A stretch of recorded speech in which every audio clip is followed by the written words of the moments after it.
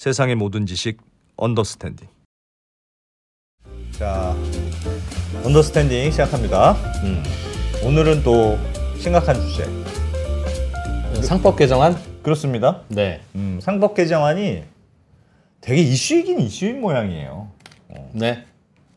여기 이슈입니다. 반응이 썰렁합니까? 아니 뭐 본인이 설명하려고 하는 것 같아서. 내가 설명충인데 아닙니다. 내가 그- 설명해야 되나? 아니 뭐. 그 이사회 복무가 그동안 회사에만 있었는데 음. 주주한테도 해야 된다. 어, 주주도 주주를 위해서도 일해야 된다. 아, 이사는 당연히 당연히 어, 그- 회사를 위해서만 일하면 안 된다. 그런데 얼핏 보면 그런- 음, 회사를 위해서 일하는 게 주주를 위해서 일하는 거 아닌가? 회사가 주주 건데. 그렇게 그 동안은 그렇게 생각해 왔죠. 음. 어, 그런데 회사를 위하니까 주주들은 좀 희생해야 되는 거 아니냐? 가끔 또 그런, 경우들이 있대요. 나오니- 나오니 까. 종종 있고 그게 중요한 일이라서 그러면 회사도 위하고 주주도 위해라. 네. 이런 식으로 법을 바꾸면 되겠네? 그렇습니다. 싶은데 거기에 대해서 야 그러면 헷, 헷갈리기도 하고 아무 결정을 못 내리게 될 수도 있어. 또- 또 아니면 되게 복잡한 문제가 생길 수도 있어. 음. 그렇습니다. 라는 반론도 있어요. 네. 그래서 어려운 얘기긴 하지만 또 우리는 어려운 얘기 전문 아니겠습니까? 네. 어떤 뭐 네. 굉장히 중요한 변화고 이게 생기면 음. 좋은 점은 뭔지 또 음. 걱정해야 될 점은 뭔지 예. 어, 등등등 좀 자세히 알아, 알아보려고 네. 진짜 전문가 한 분을 모셨습니다. 저희가 이 전문가분을 찾다가 찾다가 못 찾아서 그동안 이 이슈를 잘 못했던 거고요. 오늘 드디어 체포됐습니다. 예, 네. 저 천준범 변호사님, 음. 와이즈포레스트라는 경영자문회사 대표이시기도 하고 네. 미국 변호사이시기도 하여튼 뭐 자격증이 많더라고. 뭐 보니까 아 미국 변호사는 아니? 그러니까 자격증, 뭐 대학 졸업장, 학위 이것도 네. 진짜 부익부 빈익빈입니다. 네. 그 더 이상 없어도 될 만한 분인데 다 또- 갖고 있어. 또 박사 네, 요것도 하고 따오고 요것도 뭐. 뭐. 그래서 오늘은 천 변호사님 모시고 음. 어, 요 상법 개정안에 대해서 좀 제대로 배워보겠습니다. 어서 오십시오. 네, 안녕하세요. 네, 안녕하세요. 네, 네. 미국 변호사는 아니고 아닙니다. 네. 미국 변- 한국 변호사입니다. 네. 알겠습니다. 최근에 이제 코리아 프리미엄 시대가 온다라는 네. 책도 쓰셔서 네. 옆에 슬그머니 이제 가- 보여주시고 아, 계신데 네, 뭐. 저 밑에 감사합니다. 슈카 강력 추천이라고 돼 있어서 왜 네. 저걸 그렇게 강력하게 썼냐? 슈카는 친하대. 축하 잘 있어요? 아, 잘 있는 걸로 네. 알겠습니다. 네, 슈카님이랑 특수관계인 천 변호사님. 예. 알겠습니다. 네. 네. 오늘 그 상법 개정안에 대해서 좀 배워볼 건데 우리가 뭐 좀 오해하는 게 있어요. 그냥 기본적으로는 어, 이사들이 회사에만 복무하지 말고 주주한테도 같이 복무해야 되는 거 아니냐? 상식적으로는 뭐 당연히 그렇게 해도 될 것 같은데. 음. 뭐. 그 전에 회사와 주주가 이해관계가 엇갈리는 게 어떤 거라서 아, 네. 우리 이 고민을 시작하게 됐어요? 네. 이 질문부터 해야 되는 겁니다. 어, 네. 어, 너무 중요한 공부 좀. 해보세요 좀. 잘했죠 질문? 네. 네. 네. 뭐 안 그래도 오늘 참 좋은 것이 예. 제가 지난 지금 오늘 그 4시부터 음. 한국 기업 거버넌스 포럼에서 세미나를 지금 막 마치고 아, 네. 예, 지금 네. 돌아왔습니다. 음. 그래서 IFC에서 하다 왔는데 좀 더 배운 상태에서 와서 예. 좀더 드릴 말씀이 많은 것 오, 같습니다. 네. 다행이고요. 좋습니다. 그래서 이제 주주 충실 의무라는 지금 이 주제인데 사실 오해를 몇 개 풀어야 됩니다. 그래서 오해. 당연히 지금 이 프로님 말씀하신 것처럼 어, 회사를 위해서 일하면 당연히 주주를 위해서 일하는 게 맞거든요. 네. 근데 무슨 어떤 상황에서는 주주들에게만 특별히 또 이익을 해야 되냐 이렇게 질문을 많이 하시는데 일단 오해 세 개만 좀 풀고 그 다음에 한번 질문을 받아보겠습니다. 알겠습니다. 네. 네. 이게 첫 번째는 이제 그 주주의 충실 의무라는 게 마치 어떤 분은 주주 한명한 명의 말에 다 따라야 된다. 어, 어떤 주주는 이렇게 하라 그러면 거기도 따라야 되고 음. 어떤 주주는 이렇게 하면 이렇게 따라야 된다라는 걸로 오해하시는 분이 있어요. 네. 그래서 이제 나오는 의문이 주주 충실 의무, 주주를 위해서 일하라 그러면은 회사가 어떻게 결정을 하냐 음. 이런 의문으로 넘어가는 거죠. 예. 근데 그게 아닙니다. 이게 아니다. 네, 이게 아니고 음. 주주를 전체로 보라는 겁니다. 그래서 한 명한 명이 아니고 전체 주주의 이익을 공평하게 보호해라 이겁니다. 자, 이것도 조금 애매하긴 한데 음. 지금 아까 방금 이 프로님 말씀하신 그 내용이에요. 그럼 어떤 경우에는 음. 이 주주는 좋고 저 주주는 나쁘냐 네. 이게 중요한 거거든요. 음. 예. 충실이면 딱 그럴 때만 되는 겁니다. 일반적으로 상장회사 생각하시면 회사가 어떤 결정을 해도 주가는 똑같이 오르고 똑같이 내리잖아요. 그렇죠. 예. 어떤 주주만 좋을 리가 없죠. 리는 없죠. 예. 음. 그런데 그런 경우가 있습니다. 간혹. 간혹 어떤? 경우냐? 자, 음. 일단은 오해를 풀고 좀 이따가 말씀드릴게요. 예. 네. 박진감 넘친다. 어떻게 어떻게 이런 내용으로 박진감 넘치게 만들지? 오, 일단 오해, 네, 네, 네. 오해 2번. 조금 뒤로 밀어보고 예. 네. 네. 와. 주주 충실 의무는 그리고 이제 지금 이 말씀인 거예요. 이사의 모든 결정에 적용되는 의무가 아닙니다. 아 이것도 아니라고요? 네. 모든 결정은 뭐 회사에서 매일매일 결정하는 그런 대표님이 결정하는 그런 결정에 적용되는 것이 아니고 예, 자, 넘어갑니다. 이렇게 또. 예. 자, 이 주주 사이에 이해 충돌이 있는 경우에만 적용된다 이겁니다. 음. 충실 의무는. 그래서 저는 사실 요 이해 충돌이란 이해 상충, 이해 충돌이라는 용어가 있는데 예. 이것도 사실 잘 와닿진 않아요. 이해가 충돌한다? 이게 그 주주 뭐죠? 사이에 왜 이해가 충돌할까? 같은 회사를 공동으로 소유하고 있는 건데. 그렇죠. 그리고 상충, 충돌 이렇게 좀 어려운 한자어를 쓰다 보니까 잘 와닿지 않는데 예. 그냥 누구는 이익, 누구는 손해라는 뜻입니다. 주주 같은 주주임에도 같은 주주인데. 주주 A는 이익, 주주 B는 손해. 네. 대, 대주주는 좋고 소액 주주는 뭐 대주주가. 됐던 소액주주가 됐던 어떤 주주는 이익 아니면 또는 더 이익, 얘는 조금 이익 음. 이런 것들도 상충이죠. 음. 네. 그런 경우가 어떠냐면은 아 일단은 그래서 평소에 적용되는 의무라는 게 또 있습니다. 네. 평소에는 이 선관주의 의무라는 게 있어요. 평소에는 선관주의 의무, 이해 충돌이 있을 때는 충실 의무. 이렇게 이제 암기를 하면 됩니다. 선관주의 의무라는 건 뭡니까? 선관주의 의무는 좀 쉽습니다. 그냥 열심히 하라는 얘기예요. 근데 열심히 어떻게 해라. 열심히 하냐? 음. 이제 이- 이 선관주의 의무 설명할 때 제가 예를 드는 게 있는데 이제 친구가 음. 그 집에서 고양이를 하나 키우시는 상황을 생각해 볼게요. 예. 근데 친구가 일주일 동안 어디 해외 여행 간다고 강아지를 맡겼습니다. 음. 자 그러면은 우리 고양이 이름은 뭐 뭐라고 이름을 할까요? 나비, 나비. 음. 그러면 친구네 강아지 이름은 뽀삐. 뽀삐. 그럼 나비를 잘해 주실 거예요? 뽀삐를 잘해 주실 거예요? 나비가 내 거니까 나비를 잘해 줘야죠. 네. 아, 그런가요? 네. 맡겼는데 친구가 맡겼는데 일주일 동안 친구가 되게 친해요? 돼. 아 친한 친구죠. 아, 언제든지 돈 빌려달라면 돈도 빌려주고. 그런 친구. 아, 아. 그러면 뽀삐한테도 잘해줘야죠. 그래. 이게 저도 여기저기서 많이 질문을 던지는데 네. 이런 반응은 또 처음이네요. 에이, 저희가 솔직한 겁니다. 아니 나비는 평생 볼내 내 고양이고. 아니, 아니요, 그 전의 반응입니다. 그러니까 처음에 아니 우리 나비를 잘해줘야지라고 잘 안 나오거든요. 다 아. 친구가 맡긴 뽀삐를 더 신경 쓴다. 그게 우리나라 사람들의 문제입니다. 허례 허례 옷이 실제로는 뽀, 뽀삐한테 다 먹을 거 줄 거면서 아, 네, 나비한테 줄 나비한테? 거면서 어. 그러니까 야 이거 요때 뽀- 뽀삐라 나비라고 말하면 좀 내가 좀 이기적인 거 맞지? 음. 그러니까 다들 뽀삐라고 이야기하는. 아, 그런 거예요. 뽀삐는요 티 안 날 만큼은 잘해준다. 그게 문제야. 자, 점 얘기로 다시 넘어가겠습니다. 네, 이게 네. 지금 법은 이 선관주의 의무는 뭐냐면 음. 그런 경우에 뽀삐를 더 잘해주라는 얘기입니다. 내가 맡았을, 맡았을 때, 때. 맡았을 때더 네, 잘해줘라. 맡은 거에 대해서는 요거에 이제 선관주의 의무에 대칭되는 의무가 자기 재산과 동일한 주의 의무라는 게 있어요. 음. 그러니까 아. 내 것처럼 하지 말고 내 거보다 더 신경 쓰라는 게 선관주의 의무입니다. 아. 그러니까 누가 너한테 일이나 돈을 맡겼을 때는 예. 네 거, 네 방처럼 어지럽지 말고 음. 잘 정리하고 음. 해라. 아. 이게 선관주의 의무고 그래서 그냥 열심히 하라는 건 아니고 그렇게 남의 걸 맡았을 때는 좀 더 신경 써라. 이게 선관주의 회사의 의무입니다. 이사는 그 회사가 네 이사 건은 아니고 주주들 거지만 네. 너한테 맡기고 월급 주니 네. 진짜 네 회사보다 더 잘해야 돼. 그렇죠. 자기 집처럼 하지 마라. 더 잘해라. 이게 선관주의 의무인데 네. 예. 그래서 평소에는 다 이 선관주의 의무만 생각하면 돼요. 음. 아 맡았으니까 나보다 더 열심히 해야지. 이렇게 예. 하면 되는데 이제 이해 충돌일 때는 그게 적용이 안 됩니다. 이해 충돌일 때는 회사가 빠져나가요. 회사의 일이 아니고 주주들 사이의 일이 됩니다. 음흠. 그러니까 회사가 더해지거나 그러니까 회사가 좋아지거나 나빠지는 경우가 아예 없어져 버려요. 왜냐하면 주주만 좋고 나쁘게 되거든요. 어느 경우냐면 예를 자, 들면 자 이런 겁니다. 이제 계열사 간의 거래, 합병, 이제 분할, 자사주 처분 이런 것들을 주로 뭐 내부 거래나 자본 거래라고 하는데요.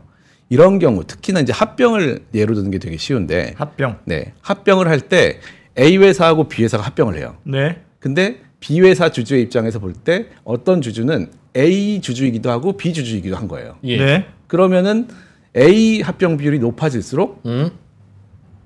이 주주는 좋죠. 네. 네, 그게 이해 충돌입니다. 예. 음. 네, 그래서 합병일 때는 같은 회사에 있는 주주라도 다른 합병 상대방 회사의 주주가 있으면은 이해가 다릅니다. 네, 그렇죠. 네, 그렇죠. 네, 그렇죠. 네, 네. 그래서 네. 그럴 때 합병, 분할 또 계열 회사 간 거래하는 건 거래 계열 회사 안에서 거래를 하면 음. 그 계열 회사를 모두가 지배하고 있는 소위 동일인이라고 하는 예. 지배주주 입장에서는 좋은 거거든요. 그 안에서 거래가 이루어지면. 예. 그런데 다른 주주 입장에서는 별로 안 좋은 거예요. 아. 어. 네. 그러니까 만약에 A, B 회사가 두 개가 있는데 합병을 하면 네.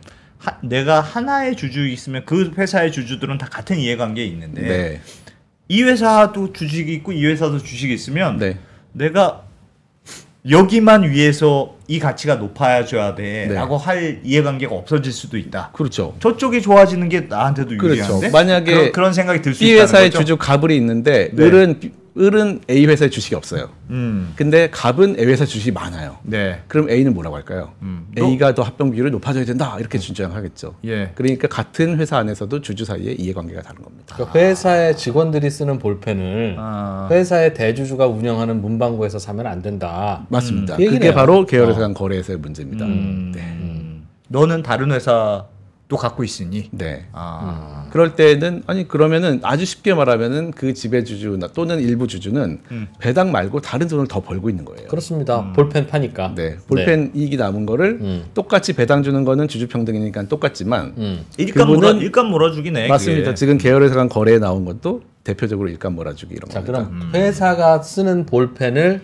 어디서 살 거냐는 이슈로 좁히면 네, 회장님, 그러니까 지분을 많이 갖고 있는 회장님이 우- 별도로 운영하는 네. 문방구에서 사면 주주들 입장에서는 회장님은 더 좋고 네. 다른 주주들은 안 좋지 않냐 네. 인 건데 네, 음, 그 볼펜이 가성비가 거기서 사는 게 전국에서 제일 좋아요. 네, 만약 그럴 수 있잖아요. 네, 네, 그럼 회장님 문방구가 아니었더라도 거기서 살 거잖아요. 네, 네, 그러니까 과거에 이사들이 회사를 위해서 충실하게 선관주의 의무를 해라라고 할 때는 음. 그 문방구 가서 사는 게 맞죠. 네, 그런데 주주 사이에 이해 충돌이 있어 버리잖아요. 네. 그럴 때는 회장님 문방구에서 사면 안 되는 거예요? 아닙니다. 지금 아주 좋은 예를 말씀하셨는데 미국인 경우에는 이제 미국은 주주 충실 의무가 이제 일반적이니까 예. 그 경우에는 이 경우에 그걸 하고 싶은 이사가 네. 음. 이제 영어를 좀 써야 되는데 이제 네. entire fairness라고 해가지고 예. 네 이제 완전한 그 공정성을 자기가 입증을 해야 됩니다. 음. 그래서 절차적으로도 완전히 그 어떤 거래 협상을 독립적으로 했고 예. 또 실체적으로도 이 가격이 정말 좋고 가- 가성비가 좋다는 거를 이 이사가 증명해주면 예. 할 수 있어요. 아. 근데 굉장히 어렵죠. 어렵습니다. 이 증명이 어렵기 때문에 웬만하면 안 가는 쪽으로. 웬만하면 갑니다. 안 하고 네. 이론적으로는 할 수 있는데 이론적으로는 할 수 있습니다. 볼펜 살 때는 맨 굉장히 적, 그 증명이 쉬울 것 같은데요. 그런데 이제 볼펜도 여러 가지가 있기 때문에 음. 그 증명 자체가 굉장히 어려울 겁니다. 하필 왜 그 볼펜을 샀어야 하냐? 음. 네. 음. 네. 그래서 그럴 수 그러네, 그렇게 얘기할 수 그러네, 있지. 그러네, 그러네. 연필로 해도 되는 거 아니냐? 뭐 여러 가지가 있을 연필은 수 처음 있어요. 네. 문방구가 어, 싼데. 어, 어, 그럴 수도 어, 있지. 네 회장님 거기서 살려고 굳이 이 볼펜을 들고 온 거 아니니? 네. 그래서 그 증명 책임이라는 게 법적으로는 되게 중요한데 그거를 하고 싶은 사람이 증명 책임이 있기 아, 때문에 알겠다. 굉장히 알겠다. 어려워집니다. 그래서 기업들이 이거 통과되면 볼펜도 제대로 못 사요. 볼펜 딴데 사면 되니까 되는데. 그렇지. 회장님 거 굳이 하려고 하니까 그렇지. 아, 회장님 그러니까 걸. 우리가 쓰던 이 볼펜이고 저 그게 제일 싸는데 음. 괜히 비싼 볼펜 사게 되는 문제가 생기겠네요. 음, 뭐 그럴 수도 있겠죠. 예. 네. 그럴 수도 있지만 네. 그 일반적. 일반적으로는 더 그렇지 싼. 볼펜이잖아. 일반적으로는 회장님네 볼펜이 더 비싼 거지. 네. 그 문제가 굉장히 지금 잘 흘러가고 있는데 사실 오늘 뭐 시간이 될지 모르겠지만 예. 그 문제가 지금 지난 20년 동안 흘러온 사실은 흐름입니다. 예. 네. 예. 자, 조금 지나가 볼게요. 그래서 요런 이해 충돌인 경우에만 그리고 뭐 이거는 저희 이제 사전 질문이 나왔던 예. 건데 이제 뭐 오리온의 레고캠 바이오가 과연 충실 의무 들어오면 못하는 거 아니냐라는 음. 이제 질문이 있었습니다. 네. 근데 이 경우에는 기본적으로는 이해 충돌 거래가 아닌 거죠. 왜냐하면 오리온의 주주 중에 일부가 레고캠 바이오의 뭐 주주예요. 예. 그러면 이해 충돌이 됩니다. 음. 예. 근데 그렇지 않고 깔끔하게 계열에서 밖에 있는 다른 회사를 살 때는 기본적으로는 이해 충돌이 없죠. 음. 만약에 인수회사가 망하면 오리온 주주를 똑같이 다 망하는 거고 음. 인수회사 잘 되면 오리온 주주는 다 같이 좋아지는 거예요. 그러니까 이해 충돌 거래가 아닙니다. 이건 그러면 오, 예. 오리온 주주 중에 레고캠 바이오의 주주가 있을 수 있잖아요. 있을 수 있는데 예. 이제 뭐 일부 굉장히 소액 주주인 경우에는 결정권이 없으니까 음. 근데 지배 주주가 레고캠바에 만약에 주주거나 이해관계가 있다 이런 경우에는 충실 의무 사안으로 넘어갑니다. 지배주주일 경우만 대부분 그렇습니다. 왜냐하면 그럼- 결정권이 있어야 되니까. 그러면 이, 이 경우 말고 이 경우는 오히려 어 이해상충의 문제가 어- 더- 하여튼 더 없어 보이는 사례인데 네. 한참 이슈가 됐던 LG 화학에서 LG 엔솔 분할. 어, 네, 너무 건. 중요한 문제죠. 그러면 그거는 이해 충돌이 있었습니다. 이해 충돌이 누구와 누구의 이해 충돌? 대주주와 이제 그 LG 화학 관점에서의 대주주였던 그 주LG죠. 그러니까 지주회사와 나머지 주주 사이에 있었죠. 어떤 이해 충돌이 있었어요? 아, 지주회- 굉장히 복잡한데 지- 이게 지주회사- 장표 지금 한 뒤에 50장짜리 있는데 이게 예. 설명을 아주 간단히 드리면 예. 지배주주는 지배력을 유지합니다. 그대로. 네. 그리고 일반 주주는 자신이 지배력을 잃습니다. 그리고 네. 그 가운데 LG 화학 안에 들어있던 LG 그 이제 배터리 전지 사업부의 가치를 자기가 온전히 다 받지 못하게 됩니다. 물적 분할을 하면 물적 분할 후 재상장을 하게 되는데 음. 네. 그것도 항상 그런 것이 아니고 재상장이 예견됐을 때 그런 일이 발생합니다. 그렇죠. 재상장을 하면 네. 어, 재상장한 그 회사 주식 을 원래 내가 갖고 있었던 만큼 나한테 주는 게 아니니까. 아니니까요. 또 만약에 똑같이 되니까. 주는 거는 인적 분할입니다. 음. 그 주식을 똑같이 주는 게 인적 분할, 분할 이고 네. 그거를 물적 분할을 하면 기본적으로는 아예 못 가지게 돼서 아 어떻게 해결을 하냐 음. 그래서 뭐 돈을 줄 수도 있고 주식을 조금 더 줄 수도 있고 여러 가지 방법이 있는데 예. 만약에 그러면 똑같이 주세요라고 하면 그건 인적 분할입니다. 음. 네, 그래서 그렇죠. 뭐 아주 간단하게 말씀드렸는데 이게 되게 복잡한 현상은 맞습니다. 네. 근데 가끔은 물론 LG 그 요즘은 뭐 물적 분할에 굉장히 비판을 많이 받지만 네. 예전의 경우에 사업부를 떼어내서 상장했더니 네, 두개 두개 합친 가치가 더 높네, 높아졌네. 맞습니다. 그래서 예전엔 그걸 또 좋다고 할 때도 있었거든요. 저도 그러니까. 사실 이제 2020년에 있었던 일이고 음. 그 전에 이제 변호사로 이제 M&A를 많이 했을 때에는 예. 당연히 그렇게 생각했습니다. 물적 어. 분할은 뭐 사업부가 잘 되면 물적 분할하는 게 무슨 문제냐. 그리고 음. 법도 그 물적 분할을 할 때 주주를 보호하지 않았습니다. 음. 법제 자체가 음. 이거는 연결 재무제표로 똑같이 있는 거고 음. 어차피 회사의 가치가 똑같은데 뭐가 문제냐라는 게 상법에 네. 주식 매수 청구권이 없었어요. 음. 그러니까 아래 위로 뗀 건데 뭐. 네. 어. 그런데 음. 이게 여러 가지 현상이 있는데 이첫 번째로는 한국에는 그 지주회사 디스카운트 현상이 있잖아요. 예. 그러니까 그게 위에 있는 모 회사가 거의 껍데기처럼 되고 밑에 음. 회사가 너무 커지면 사실은 이 회사 가치가 이 주식을 합친 것보다 안 되잖아요. 예. 네, 그 현상 때문에 이 물분 후 재상장을 한다고 생각하면은 이 모회사 주가가 엄청 빠집니다. 음. 근데 그건 주가가 빠지는 거고 네. 그건 음. 투자자들의 반응이 그렇다는 거지. 네. 음. 투자자들의 반응마저 보장해 줘야 되는 건 아니잖아요. 근데 이제 되게 어려운 문제에서 그게 맞는 말씀인데 네. 예. 계속 흘러가다 보니까 이게 결국은 지주회사 디스카운트가 이 시장의 룰이 돼 버렸어요. 음. 그러니까 이게 예를 들어서 큰 회사가 큰 사업부를 분할해 가지고 재상장을 시킨다는 어떤 그 시장의 인식이 있어져 있어 버리면 예. 이 회사가 떨어지는 게 거의 당연해졌습니다. 음. 네. 그렇기 때문에 그게 잘못이다. 그러면은 이제 일반 주주는 사실 그 지배력이 없기 때문에 주식이 떨어지면 손해를 보는 거잖아요. 근데 아. 지배 주주는 주식이 떨어져도 손해를 보는 게 사실상은 없습니다. 왜냐하면 이게 또더 그것도 이게 애매 그것도 애매한데요. 그 네. 대주주도 주식 숫자는 똑같이 주는데. 주식 숫자는 안 줄죠. 주가가 내려가죠. 어 그렇죠. 그, 네. 그, 그럼 그건 일반 주주도 마찬가지죠. 그렇죠. 음, 근데 그리고 재상장해도 네. 그것도 대주주한테는 뭐 주식을 보너스로 드리는 게 아니라 이게 지금 예. 주제가 이 뒤로 넘어가야 되나? 네. 이게 이제 네. 그, 그 이슈 때문에 너무 단편적으로 하자는 조금 거니까. 이제 어려워지는데 네, 네. 이게 쭉 이제 설명을 하게 되면은 음. 어 그래도 이해가 좀 더 잘 되실 수 있는데 음. 네 한번 가보겠습니다. 조금 더 일단. 설명하면 네, 네. 이해가 될 예, 거다. 예, 알겠습니다. 그 얘기는 조금 이따 다시 해보죠. 네. 어. 자, 그래서 어쨌든 그 사안은 그랬고 음. 세 번째 오해가 있는데 네. 이 주주 충실 의무 들어온다고 하니까 이게 저도 이제 다른 분들하고 같이 4년 전에 이 얘기를 하기 시작했는데 네. 어, 마치 이게 이것만 들어오면 다 해결되는 것처럼 많이 생각을 하시거든요. 예. 근데 아닙니다. 이거는 그냥 시작점이에요. 시작점. 지금까지 이 주주에 대한 충실 의무 없이 많은 법이 만들어져 있습니다 이미. 음. 그리고 판례가 엄청 많이 나와 있어요. 음. 그렇기 때문에 이제 요 의미는 단추를 다시 끼우는 정도의 의미고 그 밑에 있는 단추를 또 많이 껴야 됩니다 사실은. 그래서 구체적으로 고쳐야 될 제도가 너무 많은데 왜 그러면 이걸 해야 되느냐 예. 이런 또 질문도 많이 하시거든요. 음. 그럼 아니 뭐 그 의미 없는데 뭐 왜 이걸 해야 되나? 근데 지금까지의 20년 동안 법이 너무 이제 하- 쉽게 말하면 방수 처리도 안 하고 바닥 깔으니까 음. 예쁘긴 한데 되게 될 것 같지만 물은 다 새고 있었어요. 음. 네 그런 약간 비유를 드려드리는데 이제 요 세 가지 음. 네 한번 오해를 예. 네 해소하고 예. 그 다음 얘기를 어, 하면 좋을 것 같은데요. 알겠습니다. 네, 뭐 다음 하여튼 뭐 fact check. fact check는 뭐 이제 할 수도 있는데요. 네. 그래서 한번 진행해 볼까요? 네. 예? 네. 예. 네. 자, 그래서 뭐 많은 분들이 그 논, 지금 논의가 되는 건 굉장히 바람직하다 생각하고요. 그래서 선진국들은 주주 충실 의무가 없다라고 이제 주장을 하십니다. 음. 근데 이제 제가 좀 찾아봤죠. 그래서 찾아보다기보다는 너무 찾으면 잘 나옵니다. 제일 좋은 자료를 찾아봤습니다.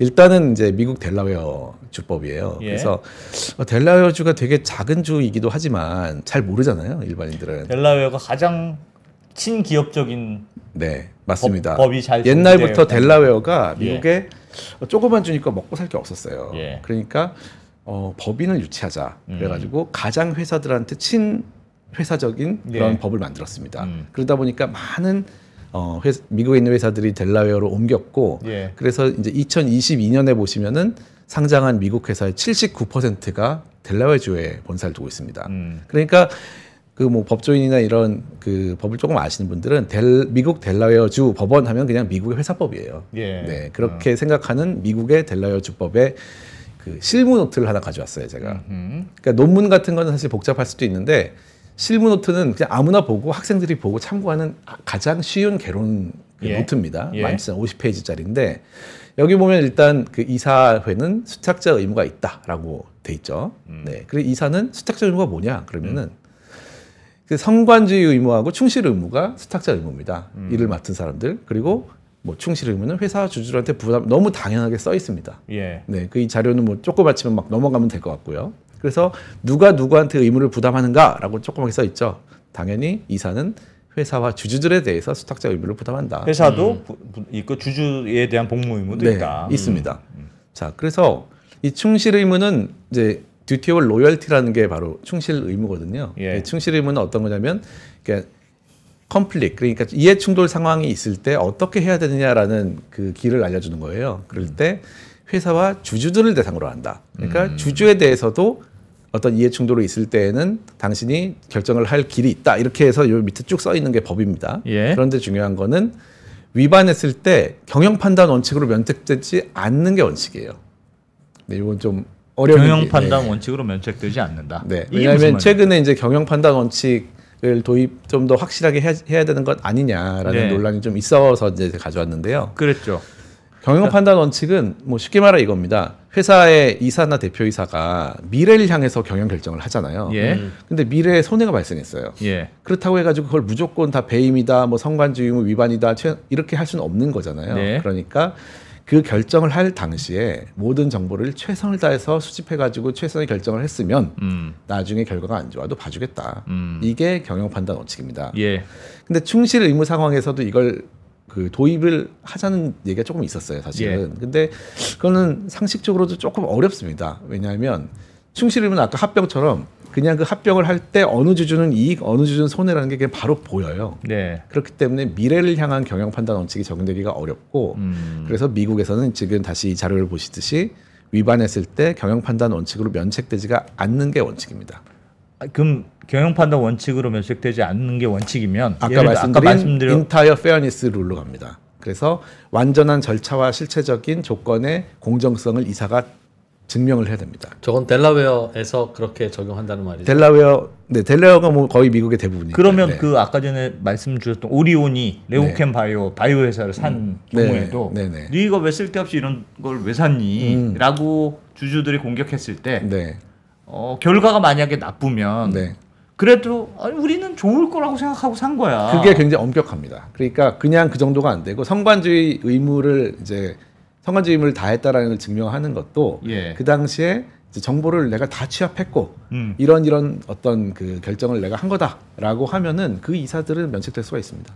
근데, 근데 그걸 본, 만약에- 본 이사들이 증명해야 한다. 그렇죠. 아. 아, 성- 경영 판단의 원칙은 주장하는 자가 입증을 해야 됩니다. 주장하는 자가 그때 성관주의 의무를 다하지 않았다. 음. 그래서 뭐 그걸 위해 가지고 경영권 분쟁 상황에서 음. 회계장부 열람도 하고 이사회 의사락도 열어보고 하는 게 음. 입증을 하기 위해서 그런 거죠. 그 당시에 결정을 그렇게 합리적으로 하지 않았다라는 거를 그 음. 주장하는 측에서 입증해야 되는 게 경영 판단 원칙입니다. 음. 그래요. 알- 하지만 중요한 거는 충실 의무. 음. 이제 이해관계가 충돌하는 사안에서는 그렇지 않다라는 겁니다. 그래서 그렇- 델라웨어즈는 친기업적이 맞아요. 왜냐하면 경영 판단 원칙이 적용되는 사안에서는 정말 이사에 대한 면책을 확실하게 주거든요. 예. 네, 확실하게 줍니다. 그런데 주주 사이에 만약에 조금 어 이거는 약간 충돌인 것 같아라는 얘기를 누군가 주주가 얘기를 합니다. 그러면은 바로 입증 책임 바로 바뀌어버립니다. 음. 그거는 쉽잖아요. 누구가 이기고 누가 손해라는 건 판단이 되게 쉽습니다. 사실. 예. 음, 음. 그렇게 되면은 바로 완전한 공정성 원칙으로 넘어가서 이사가 음. 나머지 공정성을 다 입증해야 됩니다. 아. 그래서 그게 굉장히 강합니다. 아. 그러니까 평소에는 이사가 회사의 경영상 이건 필요해. 네. 라고 하면 그 생각하면 네. 그 결과로 회사가 망하더라도 그거는 뭐라고 안 할게. 그 당시에만 네가 가장 합리적인 결정을 한게 음, 맞으면 그래서 아. 그 늘 평소에는 늘 회사만 위해서 일해도 돼. 되죠. 그런데 주주들끼리 이해관계가 엇갈리면 네. 그때는 그래도 경영 판단으로 이거 하는 게 맞는 것 같습니다. 이따위 소리는 하지 마. 아, 네. 어, 그때부터는 이건 주주들한테 평등해야지. 네. 그게 안 되면 이건 아무리 회사에 좋은 일 같아도 이건 하면 안 돼. 네. 그런 얘기죠. 그게 원칙입니다. 그런. 그게 원칙이고 그럼에도 불구하고 일부 주주가 손해되는 결정을 하더라도 내가 그걸 완전히 입증하면 할 수는 있다. 면책 받을 수는 있는 길은 그렇죠. 있다. 네. 그거를 음. 너무 너무 어려워요. 사실 미국은 그런 증명이라는 것이 예. 굉장히 정도가 높기 때문에 사실상 거의 어려웠어요. 그래서 음. 그거를 극복하기 위한 어떤 변호사들의 노력이 굉장히 많았고 약간의 예외를 준 법칙이 있습니다. 사실은 이제 이게 뭐 조금 어려워질 것 같아서 얘기를 안 했는데 예. 음. 만약에 너무 너무 어려워. 근데 하고 싶어요. 그러면은 하나의 예외가 있습니다. 음. 그 이해 충돌이잖아요. 예. 그럼 이해 충돌이 없다는 거를 일단 만들면 됩니다. 그 상황을 예, 어떻게 하냐면 그렇죠. 그 회사의 의사결정을 하는 데가 이사회하고 주주총회잖아요. 예. 이사회에서 이 지배주주 쪽이랑 관계된 사람 다 뺍니다. 어. 그리고 완전히 독립적인 위원회 하나 만듭니다. 아. 그래서 이 독립적인 위원회가 로펌도 쓰고 정보도 달라고 하고 해가지고 완전히 독립적으로 의사결정을 해요. 예. 그게 첫 번째 요건. 그리고 주주총회에 가서도 지배주주나 이 지배주주 관계인 사람 다 뺍니다. 예. 그래서 일반 주주끼리만 끼리만 투표하게 투표하게 해서 오케이 받으면 아. 그러면은 경영 판단 원칙으로 넘어간다고 해줬어요. 말씀하셨던 대로 그러니까 우리는 진짜 이거는 네, 이해 충돌을 다 이- 객관적으로 네. 결정한 거야라는 그러니까 구조를 짰다 그렇게 아. 이렇게 하면 예외를 경영 판단으로 넘어가게 해줬는데 아. 이제 이게 좀 뭐 왔다 갔다 하니까 좀 죄송하긴 한데 최근에 올해 나온 2024년 판결이 하나 있거든요. 예. 그것조차도 또 한 번 확 좁혀버렸습니다. 그것도 네. 함부로 많이 하면 함부로 안 돼. 많이 못하게. 아. 딱그 옛날에 있었던 그 케이스 하나만 되는 거지 예. 비슷한데 다 적용하지 마라는 판결이 또 나왔습니다. 그럼 현실 그렇지. 현실적으로는 이해상충이 있으면 네. 잘 못한다고 생각해야 되겠네요. 그렇죠. 네. 어. 그래서 그런 거래가 미국에서는 굉장히 어렵다 보시면 됩니다. 음. 어쨌든 네 충실을 뭐 그거 하지 말라는 거네. 회장님 볼펜 사지 말라 말아라. 어? 회장님한테만 유리한 거 하지 마. 증명하면. 증명하면 됩니다. 네. 인타이어 페어니스를. 알겠습니다. 그래서 저희도 어제 저그 김상원 기자가 비슷한 이슈를 얘기하면서 네. 상법 개정과 함께 그 금감원장이 배임죄를 그럼 폐지하겠다. 아, 네. 뭐 하, 하면서 음. 폐지까지 아니면 배임죄 성립 요건에 경영 판 경영 판단인 것에 따른 건 면책을 해주겠다라고 이제, 이제 프로세스가 진행되고 있는 것을 두고 네. 상법 개정안과 그게 같이 결합이 되면 음. 상법 개정 기껏 해봐야 경영 판단에 따른 면책입니다를 들이대면 다 면책되는 거 도로아미 아니야? 타불이니 경영 판단 원칙은 원래 그런 거니까. 예, 그러니까 아. 그 주주들 간에 공평하게 충실해야 한다는 원칙에 대해서는 경영 판단에 따른 면책이 적용되면 안 된다 라고 한 말이 같은 아, 네. 같은 말씀입니다. 네, 네. 어 그거 그럼 하, 그 문구를 넣는 순간 이 주주의 충실 의무가 사실상 별로 효력이 없어지는 게 맞는 거군요. 그렇죠. 근데 아마 그렇게 되긴 좀 어려울 것 같은 게 그 선례가 없고 미국의 거를 어차피 많이 참조를 해야 되는데 예. 미국은 지금 말씀드린 것처럼 굉장히 그 예외도 엄격하고 사실은 경영 판단 원칙 네, 면책 조건이 그 충실 의무 상황 그러니까 이해 충돌 상황에서의 경영 판단 원칙으로 넘어가는 요건이 굉장히 엄격하거든요. 네. 독립적인 이사회와 음. 나머지 어. 일반 주주의 여- 결의를 받아야 되기 때문에 아, 아. 뭐 그렇게 되면 사실은 우리나라에서도 잘 돌아갈 수도 있을 것 같기도 미국은. 아까 델라웨어 주만 그런 거 아니에요, 변호사님?이라고 했을 때 네네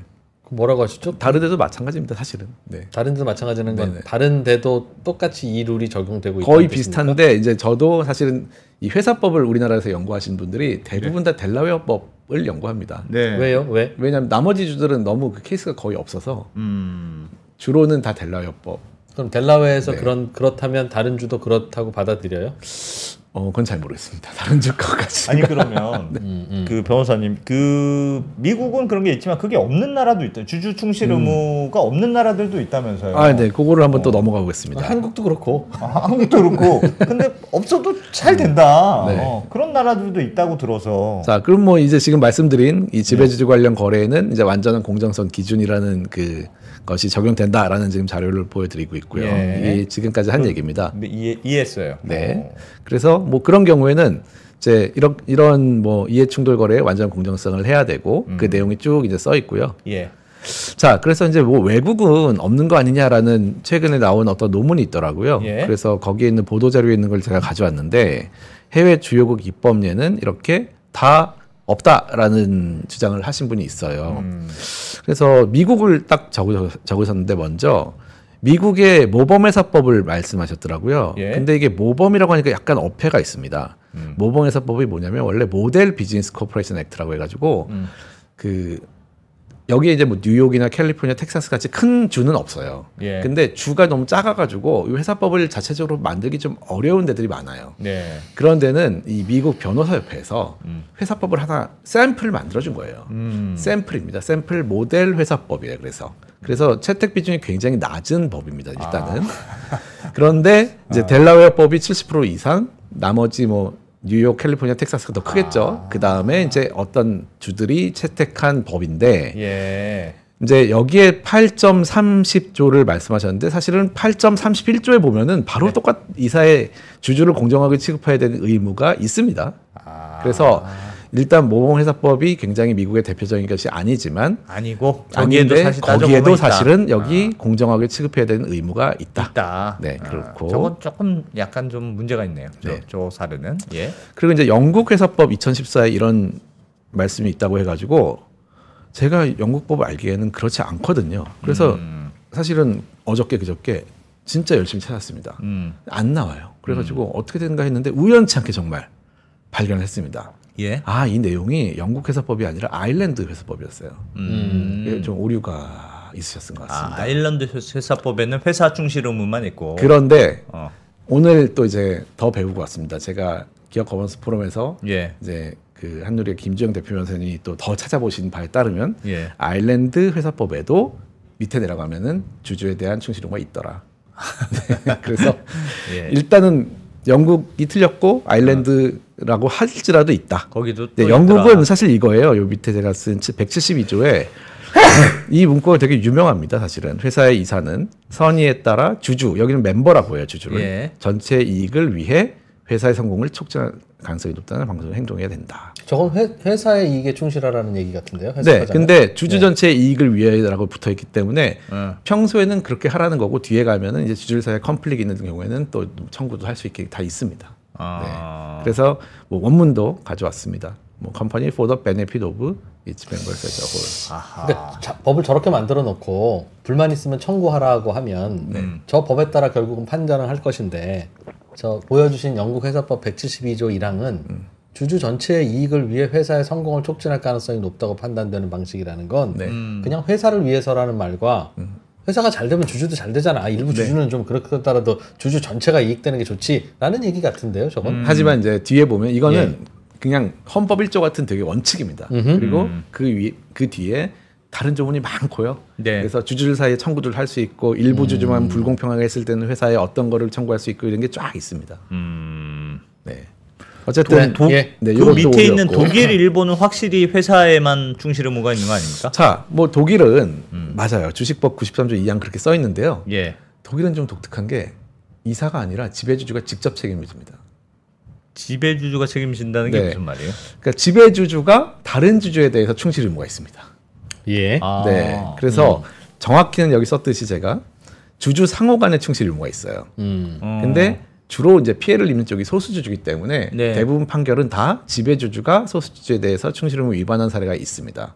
소수주주가 지배주주를 어떻게 피해를 입히기는 좀 어려워요, 사실은. 그래서 예. 그래서 제일 유명한 판결이 요 리노티페 판결이라는 게 있어요. 예. 1988년에. 그래서 이제 독일어기 때문에 타입이 아니고 이제 티페라고 있는데 예. 그 충실 의무입니다. 여기서. 그래서 주주 간에도 서로 음. 음. 그 이상한 좀 나쁜 짓 하면 안 된다 이런 거예요. 예. 그래서 그 사안은 96% 보유한 모회사가 모회사가 주주죠. 예. 근데 나머지 4% 주주를 축출을 하려고 했어요. 어허. 근데 그때 그때 당시에 독일법은 합병을 하려면 총주주 동의가 필요했습니다. 네. 그러니까 안 되잖아요. 어허. 그러니까 아 그러면 이 회사를 해산시키자. 해산은 5분의 4동이었어요. 어. 그러니까. 96%가 가능하죠. 해산을 하면서 어. 그 회사의 자산과 영업을 가져온 거예요. 아. 그런 식으로 합병을 시킨 거예요. 우회적으로. 그러니까 나머지 주주 입장에서는 이거는 소 송을 하고 네, 꼼수다 그래가지고 취소 해상 결의 취소해달라 했더니 이제 독일 법원이 요거는 대주주가 나머지 주주에 대한 충실 의무를 위반한 거다. 이럴 때에는 해산 결의가 아무리 다수결에 의해서 이루어지더라도 야. 취소될 수 있다. 이렇게 했습니다. 그래서 다 있네. 다 있네, 다 있네. 우리나라의 경우에 우리만 없었네. 우리나라의 경우에도 무슨 좀 소규모 합병은 그냥 소액주주 무시하고 그냥 할 수 있게 돼 있지 그게? 이제 우리나라 법은 요건 되게 이제 옛날 판결인데 네. 우리나라 법도 이제 2000년 넘어가면서 그런 이제 squeeze out 제도가 많이 들어왔죠. 음. 네, squeeze 아웃. 그 뭐예요? 95% 이상인 대주주는 5%를 나머지 현금 주고 내보낼 수 있는 그런 제도가 들어와 있습니다. 음. 그래서 요, 칼, 요 판례는 이제 그런 게 없는 상황에서 나온 거고요. 우리가 허- 우리가 확실히 좀 제도적으로는 약하긴 약하네요. 소액 주주의 보호. 소액 주주 보호가 뭐 좀 많이 약한 편이죠. 네. 그러면 그러면 뭐 우리도 이거 도입하자고 하는 게 전혀 무리의 한 요구가 아닌데 네. 기업들이 반대하는 이유는 충분히 이해하겠어요. 네. 어, 싫어 내 마음대로 하고 싶은데. 아니, 그 회장님이 불편할 수 있으니까 어. 이해되는데 그동안 정부에서도 네. 이번에도 이것 좀 하자고 했을 때 이것만 쏙 빼놓고 밸류원 만들고 그랬잖아요. 음, 네. 왜 그랬을까요? 정말 추측하건데. 왜 그랬을까요? 네, 저도 궁금한데. 아니, 다 기업들 로비 받은 거지 뭐라고 생각할 수도 있겠으나. 근데 저는 음, 네. 기존에 20년 동안 사실 뭐 정부가 법을 안 만든 것도 아니고 예. 열심히 했습니다. 음. 열심히 해서 공정거래법에 어떤 내부 거래 있을 때 어떻게 하면 안 된다 이런 것들이 쭉 들어와 있습니다. 예. 그리고 사익 편취 뭐 그런 규정도 있고. 근데 뭐 제 관점에서는 열심히 했는데 잘하지 못했다. 음. 좀 아쉽다. 음. 그냥 빠져나갈 구멍이 너무 많았고 음. 뭐그 얘기를 사실 어 제가 뭐 요 전책이 하나 있는데 거기에 뭐 한참 써놨어요 사실. 예. 네, 그래서 항상 빠져나가고 나서 사후 약방문이죠. 그게 그래서 밑에 이런 주주에 대한 충실 의무나 이런 원칙 선언이 없었기 때문에 음. 그냥 물이 막 새고 있었던 거죠. 음. 그리고 오히려 그게 더 나쁜 쪽으로는 면제부를 주기도 했습니다. 괜찮다 이렇게 오히려 되는 것도 있었어요. 법이 없으니까. 음. 네. 그런데 정부는 왜 그거를 그 여론인데 이제 밸류업 프로그램에서 상법 개정하라는 건 왜 안 네. 했을까요? 그거 하면 지지도도 높아지고 좋을 텐데 네. 그거 뭐 뭐 그래서 지금 뭐가- 뒤늦게 하시려고 하는 거 아닐까요? 네. 근데 사실은 저희 상법 개정이라는 거는 저도 처음에 이제 다른 분들하고 같이 말씀 나눌 때 음. 어, 어렵다고는 생각했습니다. 그래서 뭐 일부 저희 가까운 분들한테는 제가 말씀을 드리고 있지만 이거 한 30년 걸리는 거니까 음. 너무 조급하게 생각하지 마세요라고 했어요. 오, 왜요? 왜 그렇게 생각하셨어요? 일단은 뭐 이 법, 법을 한 사람들은 그렇게 배우질 않았습니다. 기본적으로 한국에서는. 한국에서는 주주에 대해서 이게 뭐 예전에 이제 에버랜드 판결 같은 게 나오는 이유가 있는데 음. 법인이라는 거를 굉장히 강하게 봅니다. 네. 그래서 음. 법인의 어떤 실질적인 이해관계 중 제일 강한 이해관계자가 주주잖아요. 네. 예. 근데 이사는 법인을 회사를 위해서 일을 할지언정 음. 주주를 위해서 일하는 거 아니다라는 판결까지 있어요. 음. 음. 그거를 예전부터 배운 사람들이 지금의 판사 검사 변호사들입니다. 예. 음. 그러니까 이게 프레임이 아예 그렇게 잡혀있기 때문에 음. 굉장히 거북한 거예요, 사실은. 그러니까 주주 간 이해 관계 이해 충돌은 그건 이사가 신경 쓸 게 아니다. 네. 음. 그게 그 이제 2009년에 있었던 그 삼성 에버랜드 사건 예. 대법원 판결에 명시적으로 나와 있고요. 음. 근데 그 판결 문구만 가지고 말할 건 아닌 게 그거는 이렇게 법을 배운 사람들은 당연히 그렇게 결론 내게 돼 있는. 근데 법을 배울 때는 그렇게 판단해야 하는 어떤 취지와 네. 목적이 있잖아요. 법을 네네. 그렇게 만드는 목적은 네네. 그건 뭐였을까요? 이사가 주주들 간의 이해관계까지 고민하다 보면 무슨 문제가 생기기 때문에 그런 음. 쪽으로 생각했을 텐데 그게 어 저도 잘은 모르지만 우리나라 법이 이제 일본법이고 지금 바로 뒤에 이제 일본법 얘기가 있- 제가 이제 예, 장표를 예. 썼는데 일- 일본법을 네, 참고했다고. 요거를 이제 보시면 조금 이해가 되실 수 있어요. 사실은 이제 일본도 회사를 위해서 충실 직무할 의무를 규정해 있는 게 우리나라 상법이랑 똑같습니다. 네. 음, 근데 이제 상식적으로 생각할 때 합병이나 분할 같은 거는 회사가 사라지는 거래고 음. 주식 왔다 갔다 하는 거래거든요. 법적으로 예, 예. 합병을 하는 게 시너지가 있다 이런 거는 법적인 얘기는 아닙니다. 합병한 다음에 어떻게 되는 얘기고 음. 예. 합병 그 자체는 회사끼리의 플러스 마이너스 아무것도 없어요. 음흠. 네, 그냥 붙는 거예요. 예. 근데 주주들은 달라요. 내 주주들은 어떤 주주냐에 따라서 다르죠. 뭐 그렇죠. 이해관계가. 아니요, 그냥 이해관계가 A, B 아무 이해 충돌이 없더라도 예. A 회사 주주는 내가 내 한 주가 몇 주가 되냐가 굉장히 중요하지 않아요. 중요하죠. 예. 그렇기 때문에 주주들 사이의 자본 거래고 주식 거래입니다. 네. 어. 그러면 회사를 위하여라는 게 없잖아요. 아. 이 합병을 할 때는 회사를 위하여 해봐 그러면은 뭐가 회사를 위한 거냐? 없어집니다. 아. 없어요. 그러니까 아 이런 경우에는 회사가 사라지기 네. 때문에 주주들 사이에 주주를 위해서 이 이사가 합병 협상을 할때 예. 회사는 어차피 붙으면 똑같은데 이거는 그러면은 뭐 안- 맘대로 하라는 얘기니까 그게 아니고 음. 주주들 네 뒤에 있는 주주들이 최도 최대한의 합병 비율을 받기 위해서 노력을 해야 된다라고 해석이 돼야 되거든요. 음. 당연하잖아요. 그, 좀 그러네요. 상식적인데. 그러네요. 그래서 일본은 그렇게 해석을 해주는 겁니다. 아, 회사를 위해서라고 하더라도 네. 합병이나 글자는 그렇게 써 있지만 예. 합병 같은 때는 회사가 없으니까 어. 이때는 주주의 이익을 극대화할 의무가 된다라고 이제 학설도 그렇게 해주고 판례도 그렇게 나온다고 알고 있습니다. 아. 그런데 그렇지. 우리나라 판결은 명시적으로 신경 쓰지 말라고 했어요. 아. 이제 여기서 문제가 발생한 거예요. 그럼 합병을 할때 굳이 이사회가 개최돼서 결정을 할 이유가 뭐가 있어요? 뭐 만약에 회사를 위하여라고만 하면은 그러니까. 없죠. 딱, 어- 딱, 딱, 이, 딱 이게 안건 에버- 올라오면 무조건 에버랜드 통과지. 네. 그러니까 합병이 음. 합병 비율이라는 거는 회사들 사이의 비율이 아닙니다. 주주들 사이의 비율이지. 딱 요 그 말씀은 그 삼성물산하고 예. 그 재무 재무직, 어, 네. 합병 딱 그런 건이잖아요. 맞습니다, 네. 어, 그러니까 한 한쪽의 주주가 불리한 상황인데 네. 주주들이 누군가 불리하고 누군가는 유리한 상황인데 네, 네. 음. 그걸 회사로만 생각하면 유불리가 없, 없지 않냐. 판단의 기준이 아예 없어지는 거예요. 그러니까 합병이 우리 회사가 저 회사랑 합치는 게 우리 회사의 사업 구조상 나빠져.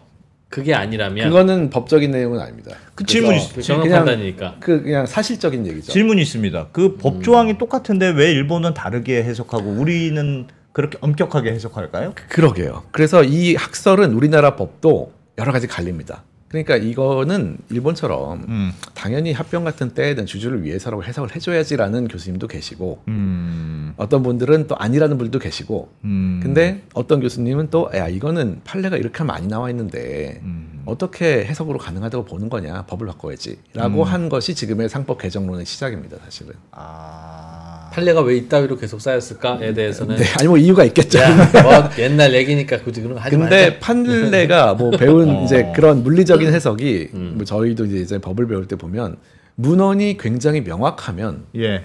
다른 해석을 하지 마라라는 또 원칙이 있어요. 어. 음, 음. 그러니까 문헌에 회사를 위하여라고 돼 있는데 거기다가 새로운 주주를 위하여라는 걸 끼워 넣는 거에 대해서 어. 판사님들이 불편했을 수는 있습니다. 네. 네, 그러면 법을 만들면 되니까. 어, 어. 네. 법을 만들어 와라. 나도 다 니들 답답한 거 아는데 판사 보고 저 용감하라고 하지 말고 법을 바꿔 와. 네, 아예. 그러면 심플하게 결정되는 네, 아. 그런 것 같습니다. 그러니까 지금 말씀을 들어보니까 다른 나라들은 제도가 있는 경우 명시적으로 있는 경우도 있고 없는 경우도 있는데 대체로 이런 취지가 다 들어가 있네요. 그럼요. 네, 다 있습니다. 아. 그래서 그거는 좀, 좀 상식적인 문제에 해당하는 것 같습니다. 그래. 네. 자, 우리도 바꿔야 된다고. 바꿔야 할 것 같긴 그렇다면 합니다. 어. 그 LG 에너지 솔루션의 물적 분할 문제를 네. 물적 분할일 경우에는 주주 간의 이해관계가 달라져라고 네. 하는 것에 우리가 동의를 한다면 네. 반드시 인적 분할을 했어야 돼. 이 분할해서 별도로 저 투자 받으려면 음. 네. 그 얘기고 그러면 현실적으로 대주주는 지배력을 잃을 수 있잖아요. 네. 현실적으로 그냥 사실 뭐 판단하기에 잃는다기보단 정확히는 공정거래법상의 30%그 지분을 채워넣으려고 더 돈을 내야 되는 겁니다. 그렇죠. 음. 그 현실적으로 어렵거나 불가능할 수 네. 있는데 음. 그러면 그냥 물적 분할 못하고 그럼 투자 유치도 어렵고 그냥 배터리 사업 접어 어, 라는 결과가 나왔을 수 있으나 네.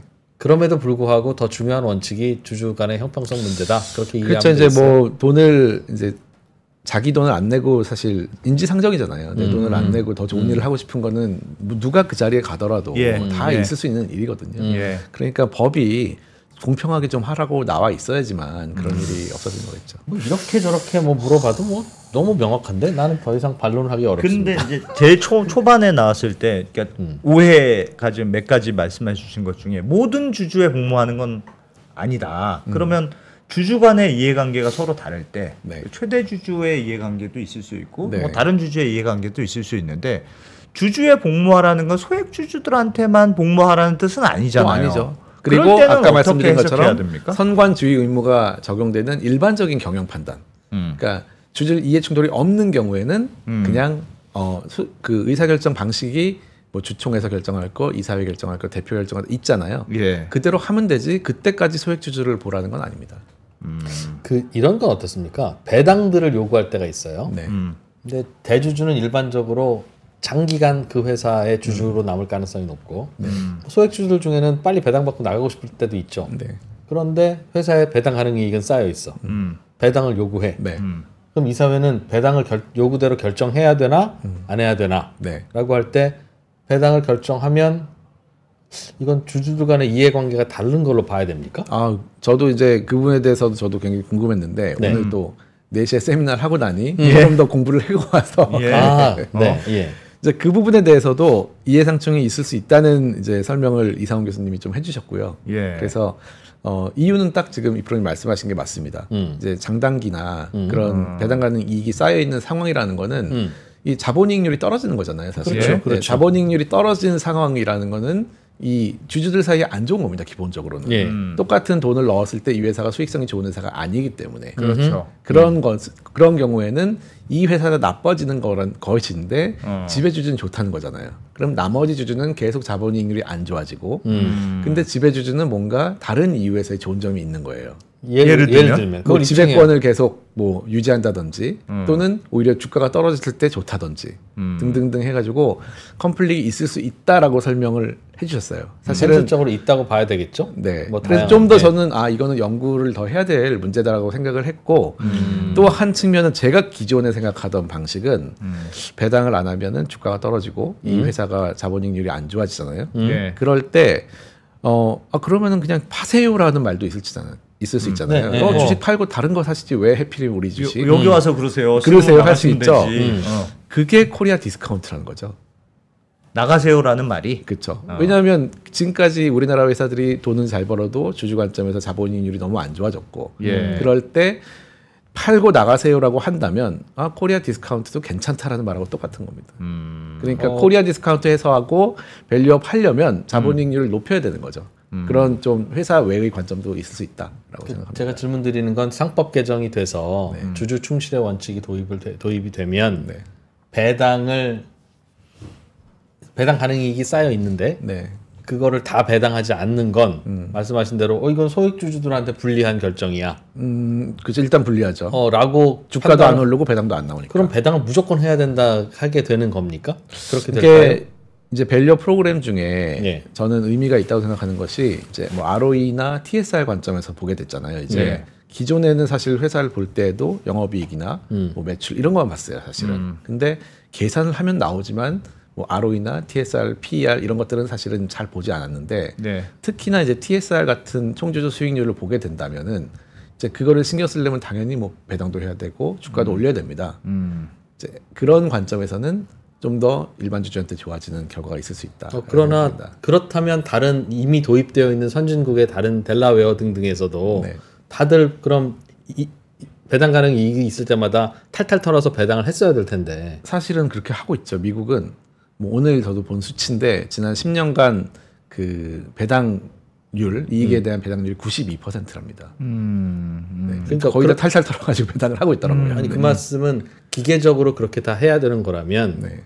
그 8%도 남기면 위법이라고 했을 텐데 그건 아니죠. 그거는 이제 그럼 어느 정도 하면 그게 주주 평등의 원칙을 훼손하지 없는 것? 같습니다. 그러니까 그 답이 없다면 네. 우리나라에 도입해도 그 답이 없다면 배당을 안 해도 같은 원칙으로 음. 방어가 되지 않을까 하는 거죠. 아 우리는 이전 설비 투자도 해야 되고 아, 그렇죠. 등등도 해야 되니 얼마든지. 우리는 요 정도만 하면 많이 한 거 아닙니까? 네. 라고 했을 때 음, 그걸 어떻게 깨느냐는 거죠. 그건 어려운 문제입니다. 그거는 저도 좀 더 연구가 돼야 될 것 같은데 배당 음. 문제는 확실히 뭐 장기도 있고 단기도 있고 음. 사실은 뭐 일반 주주 입장에서는 주가가 오르는 게 좋지만 지배주 입장에서 주가 오르는 게 좋을 일이 별로 없거든요. 사실 우리나라에서는 이제 그런 기본적인 이해 상충이 좀 해결돼야 되는 문제여서 어떻게 보면 선택의 문제일 수도 있습니다. 그냥 냅도 내 내두게 되면은 네. 주가는 계속 저평가된 상태로 갈 거고. 음. 하지만 이 주가를 올려야겠다. 너무 음. 디스카운트가 심하고 이게 음. 우리 사회의 선순환 구조를 해치고 있다. 예. 라고 판단을 한다면 주가 올리는 쪽으로 가겠죠. 음. 네. 좀 선택의 문제인 것 같기도 합니다. 그러니까 주가가 오른다는 건 배당을 한다고 주가가 오른다는 보장이 있는 것도 아니고 논리가 있는 것도 아닌 상황에서 그렇게 될 가능성이. 높다는 거지. 네. 그러니까 그러지 않 우리는 그러지 않았을 때는 이사가 처벌을 받아야 이게 법 법을 만든 보람도 있고 목적도 근데 있는 거라서. 그거는 저는 조금 뭐 부정적인 것 같아요. 그렇게 이게 될 주가를 없다. 올리려고 해서 뭐 배임으로 처벌하고 이런 건 아니고 음. 전체적으로 이해관계가 좀 같아졌으면 좋겠다. 네.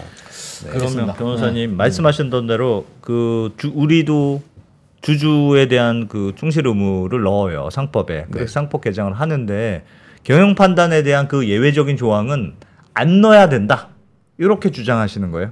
아니요 이미 판례에 대해서 판례로 많이 나와 있습니다. 경영 예. 판단이 최근에 아주 자세하게 또 경영 판단 상관지 의무를 설시한 이제 그 현대 엘리베이터 관련된 대법원 판결도 있고 예. 그래서 그거는 뭐, 뭐 법으로 넣는 게 큰 의미가 없다. 이미 법리는 다 알고 있기 때문에. 라고 법리적으로 이미 판례가 많이 쌓여 있다 그렇게 되잖아요. 네네 네. 그래서 뭐 법으로 넣는 것도 좋겠죠. 명확하게 하는. 근데 지금의 핵심은 그런 선관지 의무 상황에서 음. 경영 판단 하자는 게 아닌 걸로 저는 이해가 좀 느껴져요. 충실히 의무 사안에서도 음. 이해 충돌 상황에서도 경영 판단 원칙을 좀 도입하고 싶다라는 걸로 보이기 때문에 그거는 좀 어렵지 않느냐라 생각을 합니다. 그럼 어떻게 넣어야지 그런 그런 말씀하셨던 대로 이해상충의 문제는 별도로 생각한다. 네. 그게 그렇게 해야지. 법, 그렇게 명확하게 쓰는 거예요? 쓸 수가 있습니다. 지금 제가 방금 4시에 토론으로 했던 문구가 하나 있는데. 어. 어. 네, 뭐 하려면 써야지. 네, 이해상충 문제는. 요걸 해, 하지 않는다. 그러니까 이렇게. 이게 보통 다른 나라 법에는 이제 주주들 사이의 평등 또는 예. 전- 주주 전체를 보호할 의무 뭐 이렇게 돼 있어요. 사실은 아. 기본 원칙은 그 다음에 이 주주를 부당하게 취급했을 때에는 무슨 청구를 할 수 있고 이렇게 세부적으로 나옵니다. 예. 그래서 원칙은 뭐 주주에 대한 충실 의무라고도 할 수 있고 아니면 아. 주주 평등이라고도 할 수 있고 주주 보호 의무라고도 할 수 있고 이렇게 여러 가지가 있습니다. 그런 그런 표현들을 넣으면 된다. 네. 한때 논의됐던 왜 주주 비례적으로 복무한다. 아, 네. 그 말은 어떻게 해서 법안을 오늘 이제 그 4시에 그 발표하신 이상훈 교수님이 예. 바로 이제 그 비례적 이익 주주의 예. 비례적 이익을 보호하자라는 법안에 이제 기초가 된 주장을 하셨는데요. 음. 뭐 저도 사실은 이제 그, 그 어떤 주- 논문을 보면서 아 평소에 내가 생각하는 거랑 되게 비슷하다라고 하면서 좀 더 관심 갖게 됐는데 네. 비례적 이익이란 말이 원칙적으로 맞는 말씀은 맞는데 음. 조금 오해 소지는 있을 수 있죠. 마치 기계적 평등을 좀 요구하는 것 같은 느낌이 있는데 예. 그래서 전체 주주의 이익, 비례적 이익도 같은 말이거든요, 결국은. 그러니까 뭐 n분의 1을 있으면은 합병이나 이럴 때 똑같이 n분의 1의 이익을 보고 손해를 입어야 되는데 누구는 더 이익을 보고 누구는 손해를 보는 상황이 주주, 주주 간의 차이가 차이가 생기는 차이가 있다. 비례적으로. 다르지 않느냐. 이익이 있더라도 나는 n분의 1의 주주인데 훨씬 더 작은 이익을 받고 어. 어떤 사람은 큰 이익을 받으면 그거는 비례적으로 다르지 않, 나, 뭐 잘못된 거 아니냐라는 말씀인데 음. 좀 저도 비례적 이익이라는 게 이 우리나라 말에 좀 어려운 것 같긴 합니다. 음. 네. 근데 근본적으로는 같은 말씀입니다. 그러니까 총주주의 소액. 주주를 차별하지 말라는 말하고 차별하지 말 말라- 예, 같은 말씀입니다. 결국은 네네. 그럼 그 말도 들어가야 되겠네. 뭐 모르겠습니다만. 아. 주주 평등이 들어가면 되지 비례적 이익이 들어가는 순간 어. 그럼 대주주는 비례적으로 이익을 많이 벌- 보면 되잖아요. 그러니까 근데 나- 저도 그 표현이 뭔지 약간 가물가물했는데 뭐 당연한 거죠, 어찌 보면. 어 그냥 그 주식 수만큼의 이익과 손해를 나눠 갖자는 거잖아요. 근데 이제 우리나라의 만큼의 네, 그럼요. 이익. 근데 우리나라의 현실이 그렇지 않고 있다는 지금 이제 문제 의식이 있으신 그 하에서 이제 그런 표현을 쓰신 것 같고요. 왜냐하면 30% 주주인데 사실은 이 사회는 대부분 다 뽑고 있고 그러면 반대로 비례적 이익에서 비례적은 좀 쓰지 말자고 하는 의견도 꽤 되던데 아, 그건 네. 왜 그렇습니까? 그게 좀 오해도 있으신 것 같고 어. 왜냐하면 기계적 평등 아니냐 이런 말씀이나 또는? 이런 어. 충실 의무가 이 이해 충돌 상황에서 적용되는 건지 잘 모르시고 음. 그냥 일반적으로 그러면은 어, 소액체가 처음에 오해를 이제 해소해야 된다고 말씀드린 첫 번째 예. 한명 한 명의 의견을 다 들어야 된다는 얘기냐. 어, 그럼 무슨 결정을 하냐? 그렇죠. 대체. 그것도 이제 하나의 또 반박인 것 같은데 그건 이제 오해다라는 말씀이죠. 예를 들어서 하이브와 이번에 미, 민진 미니진 네. 씨의 네. 갈등 상황에서 예. 어, 어도어의 주주인 하이브, 하이브가 네. 어, 어도어의 이사회가 하이브 쪽에서 저 요구한 주주총회 와 네. 거기에 민희진 씨 해임 안을 안건을 올려라 올려라 네. 하고 하는 것을 이사회에서 결정했겠죠? 음? 그럼 그 이사회는 야 이게 통과되면 하이 하이브는 좋을지 안 좋을지 몰라도 민희진 주주는 손해를 많이 보는데 음. 이러면 우리는 이거, 이거 통과하면 안 되겠다 야 음. 하는 일은 안 그거는 벌어질까요? 이제 그냥 일반적인 의사결정에 대한 성과지 의무나 이런 경영 상황이고 이에 충돌 상황은 아니라고 보여지는데요. 어 왜요? 네. 그냥 의사결정을 하는 방법인 겁니다. 이게 그- 그 결과- 플러스 마이너스는 아닌 거죠. 그 결과로서 그렇게 네. 따지면 주주 이해 충돌이라는 게 딱히 있을 리가 있나요? 항상 그 결과 네. 주주가 어떤 주주는 일단은 거래가 돼야 됩니다. 그러니까 거래. 합병이나 그 네. 외부하고 어떤 합병이나 분할이나 음. 또는 내부 거래, 외부에 있는 계열회사하고 거래가 돼야지만 이제 아 결국은 이 상황에서 어떤 주주가 플러스 마이너스가 되냐가 나옵니다. 이 음. 상황은 지금 하이브의 어떤 이사회 상황은 일반적인 그냥 이사 선임 해임의 절차에 관한 것이기 의사 결정에 대한 문제여서 네, 네, 네. 아. 그거는 주주 거래가 중- 있어야 한다. 뭐 기본적으로는 그렇습니다. 이거는 그냥 내부의 회사 내부의 어, 의사 결정 과정입니다. 아. 그러면 또 자꾸 극단적인 질문을 드려서 죄송합니다만 네. 주, 주식을 주주를 아 배당을 할때 네. 이익을 배당할 때 네. 주주들 간에 차별적으로 배당할 수도 있잖아요. 어, 네, 뭐, 이- 그다 동의하면, 네. 음. 아 전원이 동의해야 가능합니까? 어, 그럼요. 아, 주주들이 네. 아, 주주총회에서 뭐 다수결 감자가 비슷한 상황이죠. 사실 배당은 안 되지만은 음. 자본 감소는 차등 감자가 가능하기 때문에 네. 네, 동의를 하면 가능하죠. 음. 전원 동의하면 전원 동의를 해야 돼요. 즉 네. 예를 들면 대주주는 100원만 배당하고 네. 소액 주주는 200원씩 배당하자라고 하는 게 배당은 그렇게 못합니다. 차등 배당을 하던데요? 차등 배당 네 알아보겠습니다. 아, 네. 아, 잘안 알겠습니다. 하는 것 같은데, 네. 음, 네. 그러면 뭐 그건 그렇고. 아, 아니 저는 다 다 좋은데 혹시라도 부작용이 있다고 그러니까 그럴까 봐. 부작용이 있는 우려할 건 없습니까? 그러니까 저도 음, 네. 굉장히 뭐 사- 사- 주주 충실 의무가 들어가야 된다고 생각하는 편인데 네, 네. 아니 우리는 그것 때문에 여러 가지 부작용이 오히려 있었던 것 같고 근데 네. 막 이런대로 반대도 많이 하니 대체로는 걱정하? 그냥 너무 좀 싫어서 하는 것 같긴 한데 그래도 우리가 뭐 걱정해야 할 부분이 오늘 있습니까? 또뭐 세미나에서 나온 얘기로는 어. 뭐 남소의 우려, 소송이 너무 많아지는 거 아니냐, 음. 주주들이 뭐 소송을 너무 많이 한다라는 우려가 하나 거? 있었는데, 그거야 뭐, 네. 뭐 소송에서 수- 이기면 돼. 그렇게 네, 따지면 뭐- 민주주의 못하지. 시끄럽게 하는 부작용. 그리고 그것도 오해가 있으신 게 예. 이게 아까 이제 그 막 섞여 있어요. 그 어. 성반지 의무 상황에서도 소송을 할 수 있는 거 아니냐. 이게 예. 주주 사이에 충실 의무 상황에서만 그게 문제 음. 충실 의무가 문제가 되는 건데 그런 상황에서 소송을 할 수 있는 경우는 되게 드뭅니다. 뭐 예를 들면 그럼 대주주가 자기 지분만 팔고 M&A를 할 수도 있죠. 어 그것도 이제 하나의 충실 의무 상황이죠. 그렇죠. 네. 어, 충실임의 상황일 것 같아요. 그럴 때 대주주는 자기 주식 팔면서 네. 다른 주주 주식은 안 사줘도 되는 게 현재 우리 법이니까 네, 네. 음, 그 상황에서 사는 쪽은 그 대신 그럼 이사회 멤버를 우리가 바로 꽂을 수 있게 네. 니네 이사회가 다 사퇴해. 음. 어 그리고 그것까지 결의해서 우리 이사회 꽂는 것까지 해줘. 이게 패키지거든요. 네. 그런데 그런 결정을 대주주가 거래하려고 한 다음에 자 이사들 모여봐. 그런 다음에 니네들 다 사퇴하고 다른 사람들 주주 이사회로 꽂을 거야 이 결정해라고 할때 네. 이사들이 뭐 네 그러겠습니다 대주주님 하면 음. 그때는 소액주주와의 형평이 달라지는 겁니까? 달라지는 거죠. 그럼 네. 그 결정을 못 하겠네요.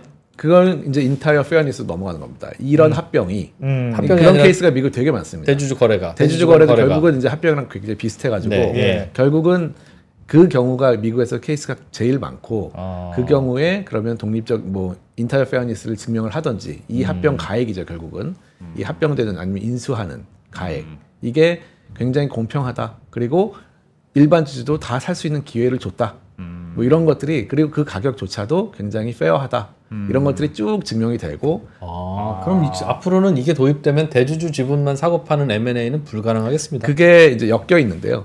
이제 음. 요게 제가 큰 원칙이고 다른 게 많이 나와야 된다고 말씀드렸는데 예. 지금 말씀하신 이제 의무 공개 매수 제도도 음. 여기에 엮여 있는 게 맞습니다. 그렇겠네요. 그것 때문에 하는 거겠네요. 네. 그래서 아. 지금까지는 전 세계에서 의무 공개 매수가 없는 나라가 대한민국밖에 없었죠. 예. 그래서 다른 나라는 뭐 최소한 그래도 50% 이상은 하고 있었는데 음. 100%가 대부분이고 그런데 이제 그게 이제 한국에 들어오는 게 지금의 금융위의 이제 자본인사업 개정 50 플러스 한 주 그 조항이고요. 음. 그래서 이제 지금까지는 아예 없으니까 대주주분만 쏙 빼나가는 경우가 가능했죠. 가능, 가능 했는데 네. 이제는 그럼 뭔가 공개 매수가 같이 따라 들어가야 되겠네요. 이제 그래서 뭐 이걸 50, 피하려면. 50 플러스 1주까지는 해라라는 게 지금의 법안으로 알고 있고요. 예. 이제 그것도 사실은 좀 이상하게 왜곡될 수가 있습니다. 사실은 100%를 어떻게 외고? 아, 100%를 해야지 100%를 하려면 해야지만 사고 팔고 싶은 사람이 다 파는데 네. 만약에 30% 주주가 50% 그렇죠. 일주모에서 20%만 산다 했는데 여기에 팔고 싶은 사람이 60%예요. 그럼 어떻게 해요? 그러면 내 지분도 사- 3분의 1밖에 안 파는. 거잖아요. 그러니까 이거는 완전하지 않은 거죠. 그러면 이제 매매네이가 성 활, 활성화되지 않을 수 있죠. 근데 아니, 그거에 미국은 대해서는 더- 더 이유가 돼 있는데 있잖아요, 미국은. 그럼 왜 미국은 활성화가 잘 됩니까? 이게 뭐 여러 가지 이유가 있는데 우리나라에서 가장 큰 재밌는 또 오늘 되게 이슈가 어, 깊이 들어가는 것 같은데 예. 저희가 그렇습니다. 네, 아, 깊이 있어서 좋습니다. 됐어 거기까지. 어, 저희로 말씀드릴 것 같으면, 아 진짜 모르고 오셨구나. 네. 자, 네. 아 그래서 어쨌든 100%를 사게 되면 좋습니다 오히려. 예. 왜냐하면 그 LBO라고 혹시 들어보셨습니까? 들어봤습니다. 레버리지 바이아웃인데 예. 이제 target company, 그 사는 회사의 자, 그 자산을 담보로 잡고 돈을 빌려가지고 그렇죠. 인수를 하는 거거든요. 예. 네. 그게 100%가 돼버리면은 사실은 100% 사는 주주와 이 회사의 이해관계는 일치가 하게 됩니다. 네. 그러네요. 그러면은 사실 이 담보를 잡는 자산이 반드시 회사에 손해를 끼치는 건 아니에요. 그렇죠. 그렇죠. LBO 가능하죠. 네, 근데 우리나라는 옛날에 이걸 가지고 배임죄로 잡았습니다. 아, 일부만 하니까 아니요, 100% 하더라도. 100% 하더라도 네. 근데 이게 이제 여러 가지 케이스 중에 아닌 것들도 많이 나오긴 했는데 어. 만약에 100% 텐더 오퍼 룰이 들어오면은 예. 이 LBO가 굉장히 자유롭게 가능한 겁니다. 아, 소송의 이슈가 없어져요. 그러면 이해관계가 일치하기 때문에 사실은 100% 살게 그 다음에 아. 대신 내가 필요한 돈은 이 회사 자산 담보로 해가지고 빌려가지고 할 수도 있고 이렇기 때문에 음. M&A가 주주 간의 이해관계 차이가 없으니까. 네, 위축된다는 그 주장도 조금 어 그럼 미국에는 M&A가 없어야 되나? 약간 네. 미국 훨씬 활발하거든요.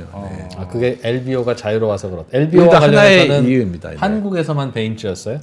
어, 뭐 거의 그런 걸로 알고 있습니다. 그건 진짜 좀 이상했네요. 네, 100% 했는데도. 근데 이게 나중에 시- 시정이 되긴 했어요. 네. 음, 그 얘기를 들어본 적이 있어요. 그게 회사가 고통스러워진다는 노- 논리였답니다. 제가 듣기로는 어. 이사는 회사의 이익에 충실해야 되는데 회사 돈이 그렇게 해서 나 빠져나가면 음. 회사가 얼마나 힘들, 힘들겠니?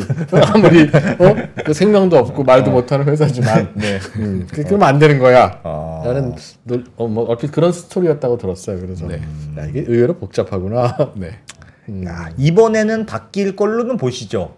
이번에 상법 개정안이 음, 바뀌 모르겠습니다. 저도 올해 갑자기 아니에요? 급물살을 타고 어. 있어서 조금 당황스러운 면이 있는데 아. 뭐 일단은 빠르, 빠르 면 빠를수록 좋은 이슈였기 때문에 네. 뭐 되면 좋은데 또이 입법의 과정이라는 게 되게 좀 그 진한하고 좀 복잡하긴 하니까 음.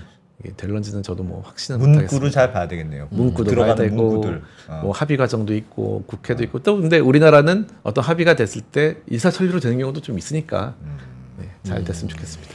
그러나 30년은 걸릴 거라고 친구들한테 얘기해 놓은 게 있기 때문에 그거는 잘못된 것 같다. 네. 좀 늦어지는 게 좀 나의 개인적인 이해관계로는 좀 낫다. 아, 그거를 제가 철회를 했습니다. 예. 아, 원래 준비를 엄청 많이 해 오셨는데. 네. 어. 뭐좀 좀, 아니 그래도 여기까지 나왔으니 아, 뭐 네. 좀 덧붙일 게 있으면 한두 개만 좀 아, 해주세요. 뭐 일단 요 표는 한번 그냥 그래도 예. 보여드리고 싶은 게그 예. 팩스 체크의 마지막 결론이었기 때문에 네.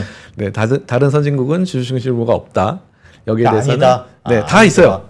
하나하나 다 있고요. 사실상 다 있다. 네, 다 있고 심지어는 이제 OECD라고 이제 우리 OECD 좋아하잖아요. 네. OECD는 이제 1998년부터 항상 이 주주에 대한 모든 주주에 대한 충실 의무가 반드시 필요하다. 꼭 넣어라라고 해 왔고요. 음. 네, 뭐 그거까지만 하면 아 그리고 이제 결론적으로는 지금 뭐 많이 했던 얘기인데요. 예. 뭐이 얘기는 이제 굉장히 좀 법적인 얘기긴 하지만 결론적으로 음. 빨간 글씨만 보면 이 계열회사 간 거래나 간 합병이 사실 가장 문제가 많았어요. 그렇죠. 그래서 그것이 뭐 꼭 나쁘다는 게 아니고 음. 너무 거기에 대해서 논의도 안 하고 일이 이루어졌거든요. 사실은 음, 뭐 합병 가액이나 이런 거에 누가 공정하냐 맞냐 이런 얘기가 아예 없었어요. 예. 맨날 하고 나서 소송이 되고 이랬거든요. 음. 그러니까는 그 논의 자체가 이사회나 주총에서 우리가 이 회사랑 이렇게 합병하는 게 맞느냐, 거래가 맞느냐라는 얘기조차 안 나왔기 때문에 얘기를 하는 게 좀 맞지 않겠느냐 이런 생각을 하고 있습니다. 음. 노력을 좀 하자 이제 논의를 예. 토론을 하자. 네. 뭐 요까지만 해도 이제 뒤에는 너무 복잡한 걸 많이 가져서 네.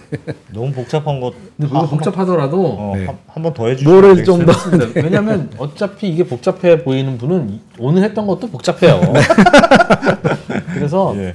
자료가 뒤에 엄청 많거든요. 오늘. 이 정도라면 네. 언더스탠딩 시청자들은 그냥 가볍게 네. 어, 하실 수 있을 것 같은데 네. 죄송하지만 한 번만 더 나와 주시죠. 아, 네, 뭐 네. 언제든지 네. 불러주시면 네, 한 번 더. 나와. 네. 그리고 솔직히 주셔가지고 그 천준범 변호사님이 이런 얘기를 하는 데 있어서 네. 그걸 귀담아 듣는 시청자들도 여기밖에 없습니다. 어, 사실 다른 데가 안 들어줘요. 그러니까 그러니까 아 그래도 저도 처음에 그래서 네. 어, 기자 기자님 때 네. 어, 저는 되게 재미없는 얘기 하는 사람인데 네. 어, 괜찮겠느냐라고 말씀을 드렸거든요. 음, 그래서 아니야. 근데 이건 요 상법 개정안에 관련해서는 가장 자세하고 가장 굉장히 쉽고 재미있는 예, 굉장히 이야기였어요. 네, 감사합니다. 그러나 네. 그게 관심 있는 분들은 언더스탠딩 시청자 말고는 없다. 없다. 네, 아, 아니 이건 그리고 좋습니다. 오늘 진짜 배운 게 그동안 다른 나라는 없는 나라들도 있는데 음, 그거 다 장단점을 비교해서 해야지 왜 우리만 좀 무리해서 하려고 하느냐라는 기사가 지금 도배가 돼 있거든요. 그게 소스가 하나인데요. 어. 아까 이제 저희 드렸던 이, 이 소스입니다. 아까 이 해외 주요국 거네. 입법례 예. 요 소스 거예요. 요거 요거. 예. 이- 저건- 저건- 저건 누가 만들었는데요? 그 모 교수님이 이제 이걸 연구를 하셨는데 예. 이제 뭐 오류가 너무 많으니까 저희도 조금 안타까운. 저 교수님. 저 연구를 왜 그냥 본인이 흥미로워서 아니면 어디 스폰서가 있었어요? 의뢰를 받았죠. 네, 아. 모 단체 의뢰를 받아가지고 하신 겁니다. 네. 받아서 근데 오류다 저게. 저건 오류다. 너무 좀 이제 단순한 오류도 있고 네. 조금 음, 하나는 말씀하시지만 두 개를 말씀 안 하신 뒤에 뒤에 있고. 얘기는 네, 빼고 얘기한 빼고 얘기한 것도 한 있고. 저것도 그럼 저희가 스폰서 해드릴 테니까 저기서 똑같이 발표 좀 하시죠. 뭐, 뭐 얼마나 들겠어? 예, 알겠습니다. 다음에 한 번 더 해서 네, 조금. 조금 더 네, 배워보죠. 네, 어, 네, 재밌네. 해주세요. 중요한 네. 변화 같습니다. 네, 알겠습니다. 네, 자 와이즈 포레스트 포레스트. 천준범 대표님 겸 변호사님 음, 잘 배웠습니다. 고맙습니다. 네, 감사합니다.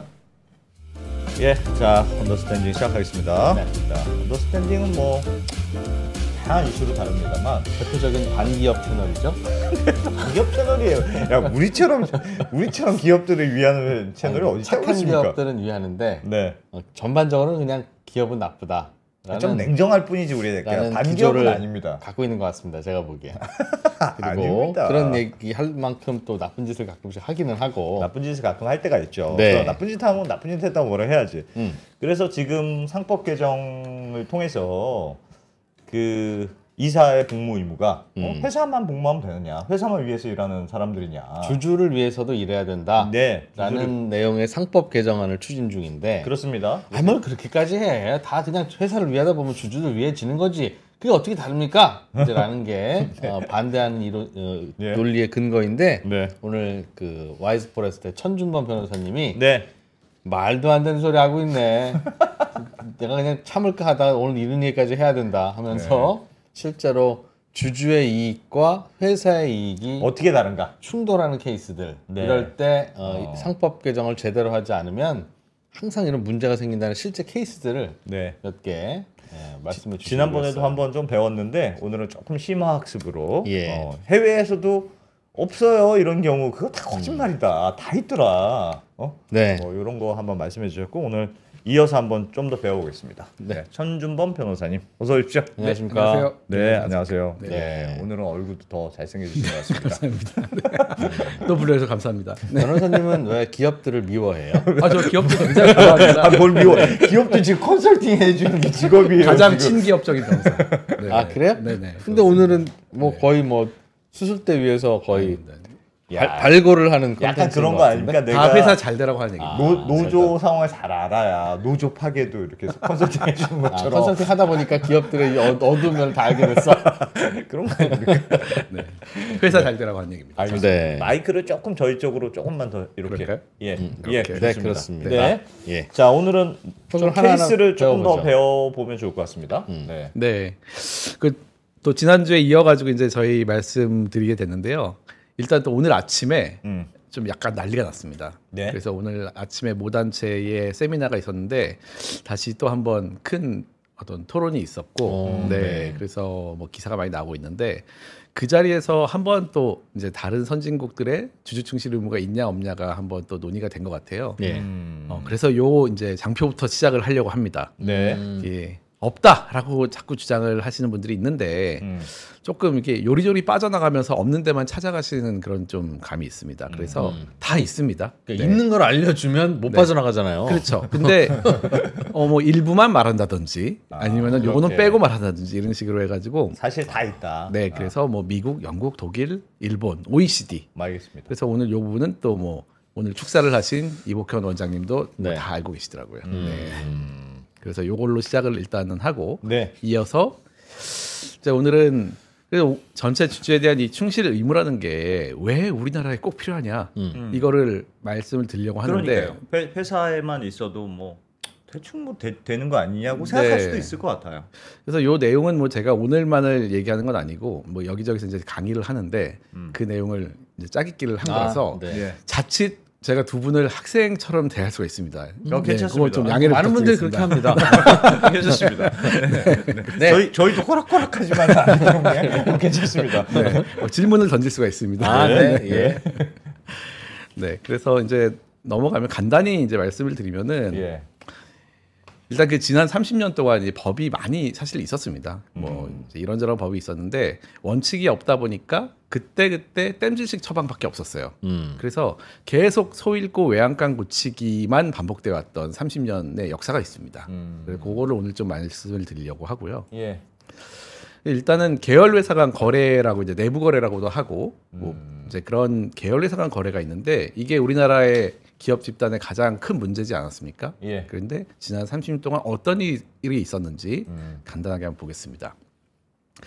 자, 이 그림을 보시면은 이제 하나하나 보시면 위에서부터 보시면 이제 주주입니다. 맨 위에는. 네. 그리고 밑에 이사회가 있습니다. 이사회는 뭐 대표이사도 있고 사내이사도 있고 사회이사도 있고 예. 이사회가 있고 그 중에 대표이사가 회사의 대부분의 결정을 한다는 이 그림입니다. 음. 그런데 이제 주주에서 조금 다른 점이 있는데 일반 주주가 쫙 있지만 우리나라의 특징은 상장 회사라도 지배 주주가 있죠. 예. 네, 지배 주주가 대부분 한 20에서 30% 많으면 40%까지 들고 있습니다. 예. 네, 이게 이제 우리나라의 상장 회사의 대부분의 상황입니다. 음. 자, 이런 경우에 이렇게 돼 있죠. 이사들을 다 누가 뽑냐 보니까 우리나라에는 집중 투표제도 거의 없고 예.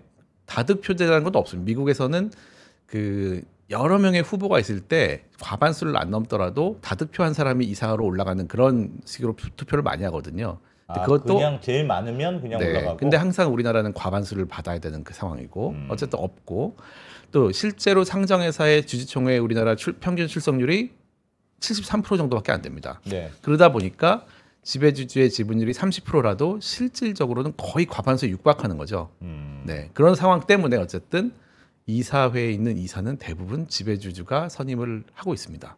아, 사실상 지배주주가 다 결정하는 거죠. 뭐. 그렇죠 여러 가지로. 그래서 뭐 해외도 마찬가지일 것 같습니다. 해외는 근데 이제 다릅니까? 미국이나 일본 같이 완전히 주주가 분산돼 있는 경우에는 음. 지배주주라는 개념이 없습니다. 그래서 음. 어뭐 주총에서도 누구 한 명을 그 원하는 그런 이사가 되는 게 아니고 대부분은 특정 주주, 특정 기관이 미는 이사들이 한 명씩 들어갑니다. 보통. 음. 그래서 다 한 명의 지배주주가 선임하는 경우가 거의 없다 보시면 됩니다. 음. 그게 우리나라하고 가장 큰 차이인데 뭐 좀 이따 다시 또 말씀드릴 기회가 있을 것 같고요. 여기서는 그래서 이제 요거를 아셔야 되는데 우리나라의 회사라는 게 그 이해관계 이제 이해관계라는 말을 앞으로 많이 할 건데 이해 충돌, 이익 충돌 이런 얘기인데 그러면 이 회사에서는 이 이해관계가 누구랑 누구랑 충돌하느냐 한마디로 누구랑 누구랑 편 먹었느냐 이 얘기잖아요. 예. 그게 지금 이런 그림으로 된다는 겁니다. 지배주주와 이사회, 회사가 하나의 이해관계를 이루고 있고요. 음. 그 다음에 나머지 일반 주주가 다른 이해관계를 갖고 있는 경우가 굉장히 많습니다. 네. 그러나 뭐 나머지 주주들도 이 회사가 잘 되면 자기도 잘 되는 관계니까. 그렇죠. 자, 일반적으로 그렇죠. 예. 음. 자, 그러면 이제 이게 내부 거래나 계열 회사가 계열 회사 간 거래가 이루어지는 이제 하나의 이제 굉장히 단순한 예를 가져왔는데요. 예. 예를 들어서 이제 지배주주가 그, 그 회사, 우리 회사에 대해서는 20% 30%밖에 없지만 100% 개인 회사가 하나 있어요. 만약. 만약에. 음. 그러면은 이게 이제 누구를 비난하는 게 아니고 인지상정이에요. 누구든지 지배주주가 뽑아준 이사 대표이사는 음. 그러면은 어떤 지배주주한테 당연히 잘 보이고 싶잖아요. 네. 네. 그리고 어, 뭔가를 더 드리고 싶고 음. 드리고 싶은 그 마음이 누구한테나 있습니다. 예. 자 그러면은 이제 드립니다. 어떻게 드리면 될까요? 이 지배주주한테 저 회사 개인 대표이사. 개인 회사 거를 사 사줘. 사줘도 되고 어. 음. 아주 심플하게 생각하면 됩니다. 일단 음. 심플하게 생각하면은 사실은 그냥 제일 쉽게 생각하면은 회사에 돈을 그냥 드리면 돼요. 그렇죠. 개인 회사로. 어. 네, 그냥 막 드리면 되잖아요. 근데 음, 그거는 음. 이제 배임 횡령으로 걸리겠죠. 예. 네, 그래서 이제 증여는 안 돼요. 그건 아주 쉽게 음. 그냥 안 되죠. 증여 안 어. 돼요. 그냥은 안 아, 되고. 네, 그냥 안 돼. 드리면 이제 그 너무 편하. 네 편하도 표고도 나지만 이제 철창을 예. 네, 가게 음. 되기 때문에 안 됩니다. 그럼 그 다음으로 생각할 수 있는 게 뭘까? 드리고 싶습니다. 나는 너무 드리고 싶어. 우리 지배주주 나를 뽑아준. 그러면 사실상 드리는 것과 마찬가지의 거래를 하면 되죠. 그렇죠. 네, 볼펜을 사오면서 뭐 한 자루에 2만 원씩 드린다든가. 네, 네. 음. 그래서 그게 이제 첫 번째 단계로 생각할 수 있는 게 직접 이제 밀어주는 거래를 하게 된 겁니다. 네. 싸게. 어, 네. 뭐 대, 싸게 대출을 해, 싸게 해준다든가 맞습니다. 보증을 서준다든가 네. 거래를 아니면- 좋은, 좋은 조건의 거래를 해준다든가 아니면 회사 직원이 가서 일을 해준다든지 음. 뭐 아니면 지적재산권 IP를 그래. 싸게 넘겨준다든지 음. 아니면 거기에 수수료를 드린다든지 이렇게 음. 직접 밀어주기 방식으로 거의 IMF 사태가 있기 전에 1997년까지는 이런 게 굉장히 만연했습니다. 보통은 대주주의 100% 자회사보다 도련님 회사에 저렇게 뭐 많이 그럴 수도 했죠. 있습니다. 어, 네. 일반적으로 그 동안의 반응은. 어, 밀어주려면 이놈 자식아 우리 아들 회사에 밀어줘야지 이 눈치 없는 놈아 어, 안 그래도 나 물려주려고 지금 하고 있는데 어. 왜 자꾸 내 회사로 넣으면 또 물려줘야 되잖아 그렇지. 없는 놈 도련님 도련님 회사를 집중적으로 밀어준 경우가 많았던 거야. 네, 그렇습니다. 그렇게 이제 상속 증여가 이루어지는 실질적인 음. 케이스가 많았는데 이제 이게 문제가 계속 되고 정부에서도 일을 안 한 건 아닙니다. 계속 이 90년대 이런 문제가 많이 생기다 보니까 이거를 이제 막는 법이 생깁니다. 예. 네, 그래서 이제 제가 부당거래법이라고 이름 붙인 이제 공정거래법에 보면은 부당지원 행위 금지, 음. 불공정 거래 행위 중에 있고요. 그다음에 세법에 또 하나 들어갑니다. 법인세법에 부당행위 계산 부인입니다. 그래서 너무 싸고 유리하게 계산한 거에 대해서는 네가 그 이익을 이익이 내려온 만큼을 인정하지 않겠다는 뜻입니다. 네. 그래서 그만큼 법인세 내라는 겁니다. 음. 네, 그런 두 가지 행위를 규제하는 게 들어옵니다. 예. 그게 96년에 공정거래법, 98년에 세법 이렇게 개정이 됩니다. 그래서 여기에 공정거래법에서 보면은 이 문구가 굉장히 중요합니다. 법이 항상 좀 약간 좀 사소한 거에서 중요한 일이 있는 경우가 많아요. 그래서 요 현저히 나중에 상당히는 바뀐 거고 음. 현저히 유리한 거래가 금지됩니다. 한마디로. 현저히 예, 상당히 요거를 이제 기억을 계속 해주셔야 돼요. 아. 현저히 유리한 거래가 금지된 게 이 96년이고 이거는 이 직접 너무 밀어주니까 이 직접 밀어주는 거를 막기 위해서 만든 법입니다. 현저히 유리한 게 얼마나 유- 유리한 건지가 애매하네요. 두 개 다 애매합니다. 현저히도 애매하고 예. 유리도 애매한 거예요, 사실. 음. 아, 유리도 아, 그렇죠. 애매하고. 나중에 좀 나오는데 그두 음. 개가 다 애매합니다. 그렇죠. 아, 그렇지. 그러네. 네, 그래서 법은 추상적인 문구가 많을수록 집행이 어렵습니다. 음. 그래서 음. 잘안 돌아간다고 보시면 됩니다. 그래서 일단 추상적인 게 두 개 들어왔죠. 예. 어쨌든 법이 들어오니까 이 당시에 IMF 사태 이후에 공정거래위원회가 당시의 5대 재벌 그룹을 대대적으로 조사를 합니다. 예. 그리고 과징금을 그 당시에 어마어마한 금액이었던 수백억씩 때려요. 음. 예. 지금이야 뭐 수천억도 있지만 음. 수백억씩 과징금을 매깁니다. 그래서 이때가 그 공정거래법상 부당지원 행위가 큰 어떤 시장이 열린 때예요. 예. 네. 자, 그러면 이제 변호사들의 시장 네, 그렇죠. 어. 네. 우리 세상이 왔구나. 아, 네. 무슨 말인가 싶은데 변호사님들 사이에서 항상 시장이 열렸다고 하면 그런 얘기니까 습관적으로 그렇게 표현하시는군요. 네. 알겠습니다. 네. 그래서 이게 그러면 이제 다시 이 회사에 있는 그 예쁨을 받고 싶은 CFO 뭐 김상무입이라고 하겠습니다. 음, 예. 네. 그 입장에서는 이 법이 생겼어요. 그러면 현저히 유리한 거래는 하지 말래요. 네. 음. 그러면 어떤 이제 방안을 또 이, 포기할 수는 없잖아요. 적당한 거래를 하는 거죠. 뭐 조금 적당한 유리한 거래. 거래를 하거나 어, 유리하지 않은 거래를 해도 네. 예를 들면 도련님 회사가 뭐 뭐 뭘 납품한다 그럴까 시멘트를 납품한다고 음. 해요 건설 회사가 있는데 그럼 시중 가격으로 납품하면 그래. 유리한 거래가 아니잖아요. 그렇지. 그러나 시중 가격으로 납품해도 이만큼 남거든. 어, 그렇지. 어, 그 독점으로 납품하시고요. 조금 좀 불량한 거 있어 그냥 받아드리겠습니다. 우리가 남입니까? 뭐 그러면. 도련님 회사들은 이만큼 남는 거지. 어, 네. 너무 정확하게 또 말씀해 주셨고요. 에이, 아. 너무 쉬워. 너무 쉬웠나요? 아직까지는 너무 저학년 수준인 것 아, 그런가요? 네. 언더스탠딩입니다. 언더스탠딩. 아, 진짜. 예. 네. 너무 유리한 것이 이제 문제라면은 이 법이 어렵지 않다는 거죠. 그러면 그렇죠. 너무 유리하지는 않게 음. 다만 많이 하자라고 한 게 바로 이제 물량 몰아주기, 일감 몰아주기 이런 어, 거래입니다. 음흠. 네. 그래서 이 물량 몰아주기를 딱 들어오자마자 이 부당거래법이라고 했던 공정거래법에 음. 굉장히 이제 뒤통수를 맞은 거죠. 음. 현저히 유리라고 했는데 음. 그럼 이것도 많이 하는 것도 현저히 유리인가?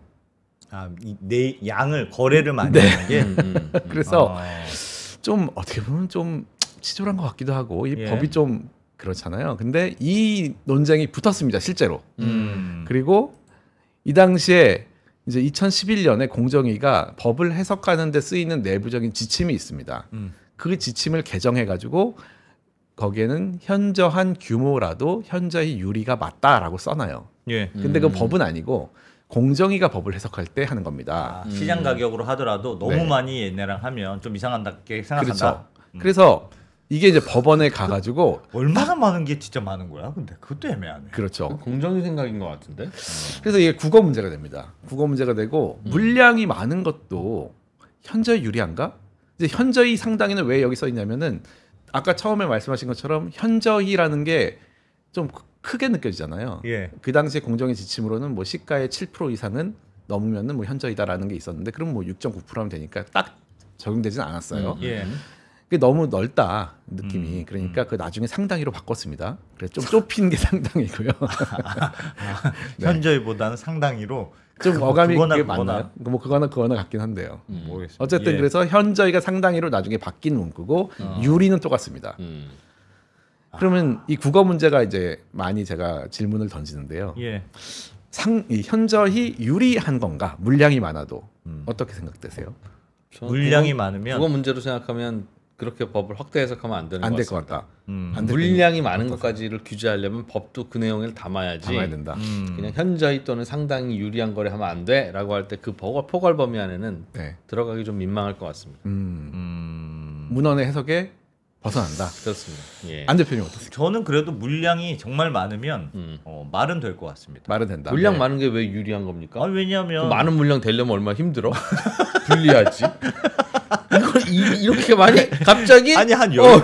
열 개의 회사가 있는데 한 회사에만 받는다면 그거에 대한 이유가 있어야 되는데 얘도 한 회사한테 물량을 왕창 몰아줬다. 네. 그럼 그거에 대한 합당한 이유가 있어야 되겠죠. 그러면 네. 무슨 볼트나 너트나 뭐라도 납품 받을 때는 전국에 있는 모든 업체한테 골고루 납품 받아야지. 아, 골고루- 몇몇 업체한테만 납품 받으면 다 유리한 거래했다고 할 수 있겠네요. 아니 왜냐하면 그렇게 어떻게 운영합니까? 하나에만 의존하면 회사 입장에서 불리하거든요. 네. 그래서 복수의 벤더를 두지 않습니까? 네. 그러나 한쪽에서 물량을 몰아주는 게 어찌 보면 그쪽에서 규모의 경제가 만들어져서 더 그 가성비 높은 제품이 나오게 할 수도 있습니다. 그렇게 따지면 현대자동차가 무슨 출고할 때 다 모든 회사 골고루 타이어 다 골고루 해야지. 알았어. 쎄, 답을 말씀하세요. 안 그러면 끝이 없어. 아, 답은 뒤에 나오는데 네. 지금 뭐 완전히 공정위 측 변호사 하시면 되고 네. 네. 사실은 뭐 회사 측 변호사 하시면 됩니다. 네. 이런 논의가 실제로 일어났습니다. 아, 변호사들도 겨우 이 정도 수준이에요.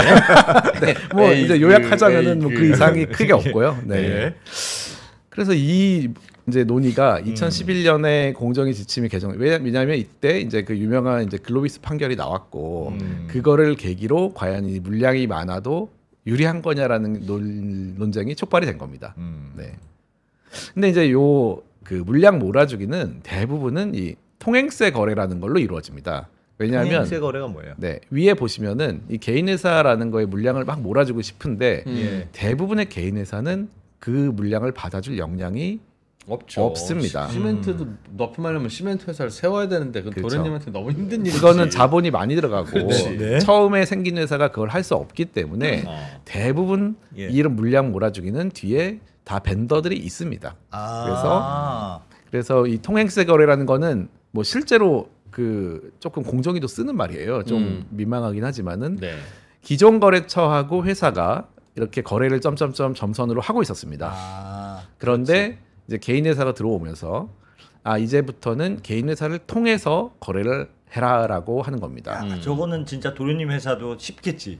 그냥 네. 받아다가 주기만 사실상 받아다 주지도 않을지도 몰라. 어 실제로 그렇습니다. 보내 보내만 할 수도 있어요. 어. 근데 이런 그 구조를 막 비난만 할 수는 없는 것이 사실 유통이라는 것이 다 저런 거죠. 원래 그냥 연결만 해주고 그 다음에 트럭으로든 직접 가잖아요 전부 다. 예, 음. 그러니까 좋은 물건을 골라가지고 연결해주는 것만으로서도 어느 정도 이윤을 받는 게 유통이잖아요. 음. 그러니까 이게 과연 부당한 통행세인지 실질적인 능력이 있어서 하는 건지는 상당히 어려운 문제가 됩니다. 네. 네, 그래서 사실 공정거래법도 거기에 또 추상적인 개념을 막 넣으면서 규정을 해놨는데 예. 이 물량 몰아주기가 대부분 이렇게 일어나는 이제 케이스가 있었고 이 케이스에서 바로 이 물량이 많아도 현저히 상당히 유리한 거냐라는 이제 드디어 법원의 판단을 받게 됩니다. 음. 이제 요 케이스는 굉장히 유, 유명한 이제 미스터 피자 케이스고요. 예.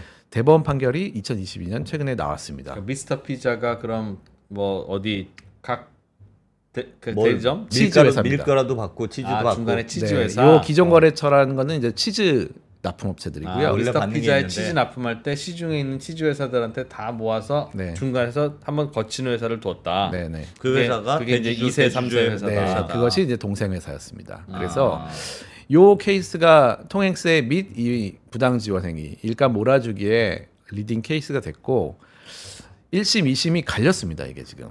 그래서 그 당시에 제가 이 케이스를 뭐 강의에서 이용한 지가 꽤 됐는데 예. 2심까지 나왔을 때 시작을 했습니다. 그래서 굉장히 귀추가 주목된다. 3심이 어떻게 될지 보자. 음. 이렇게 얘기를 하고 있었고요. 지금은 나왔지만 제 1심에서는 이 부당 지원 행위가 유죄, 즉 인정이 된 겁니다. 통행세였다 사실상. 통행세 이제 물량입니다. 여기서 통행세 거래는 뭐 큰 이슈는 없었고 이 물량 치즈를 많이 이렇게 공급하는 것이 현저히 유리한 거냐 가 이슈였습니다. 예. 그러면 어떻게 보면은 필요한 피자를 만드는데 필요한 치즈의 뭐 80% 이상, 90% 이상을 다한 회사에서 공급받는 것이 예. 유리한 거냐였습니다.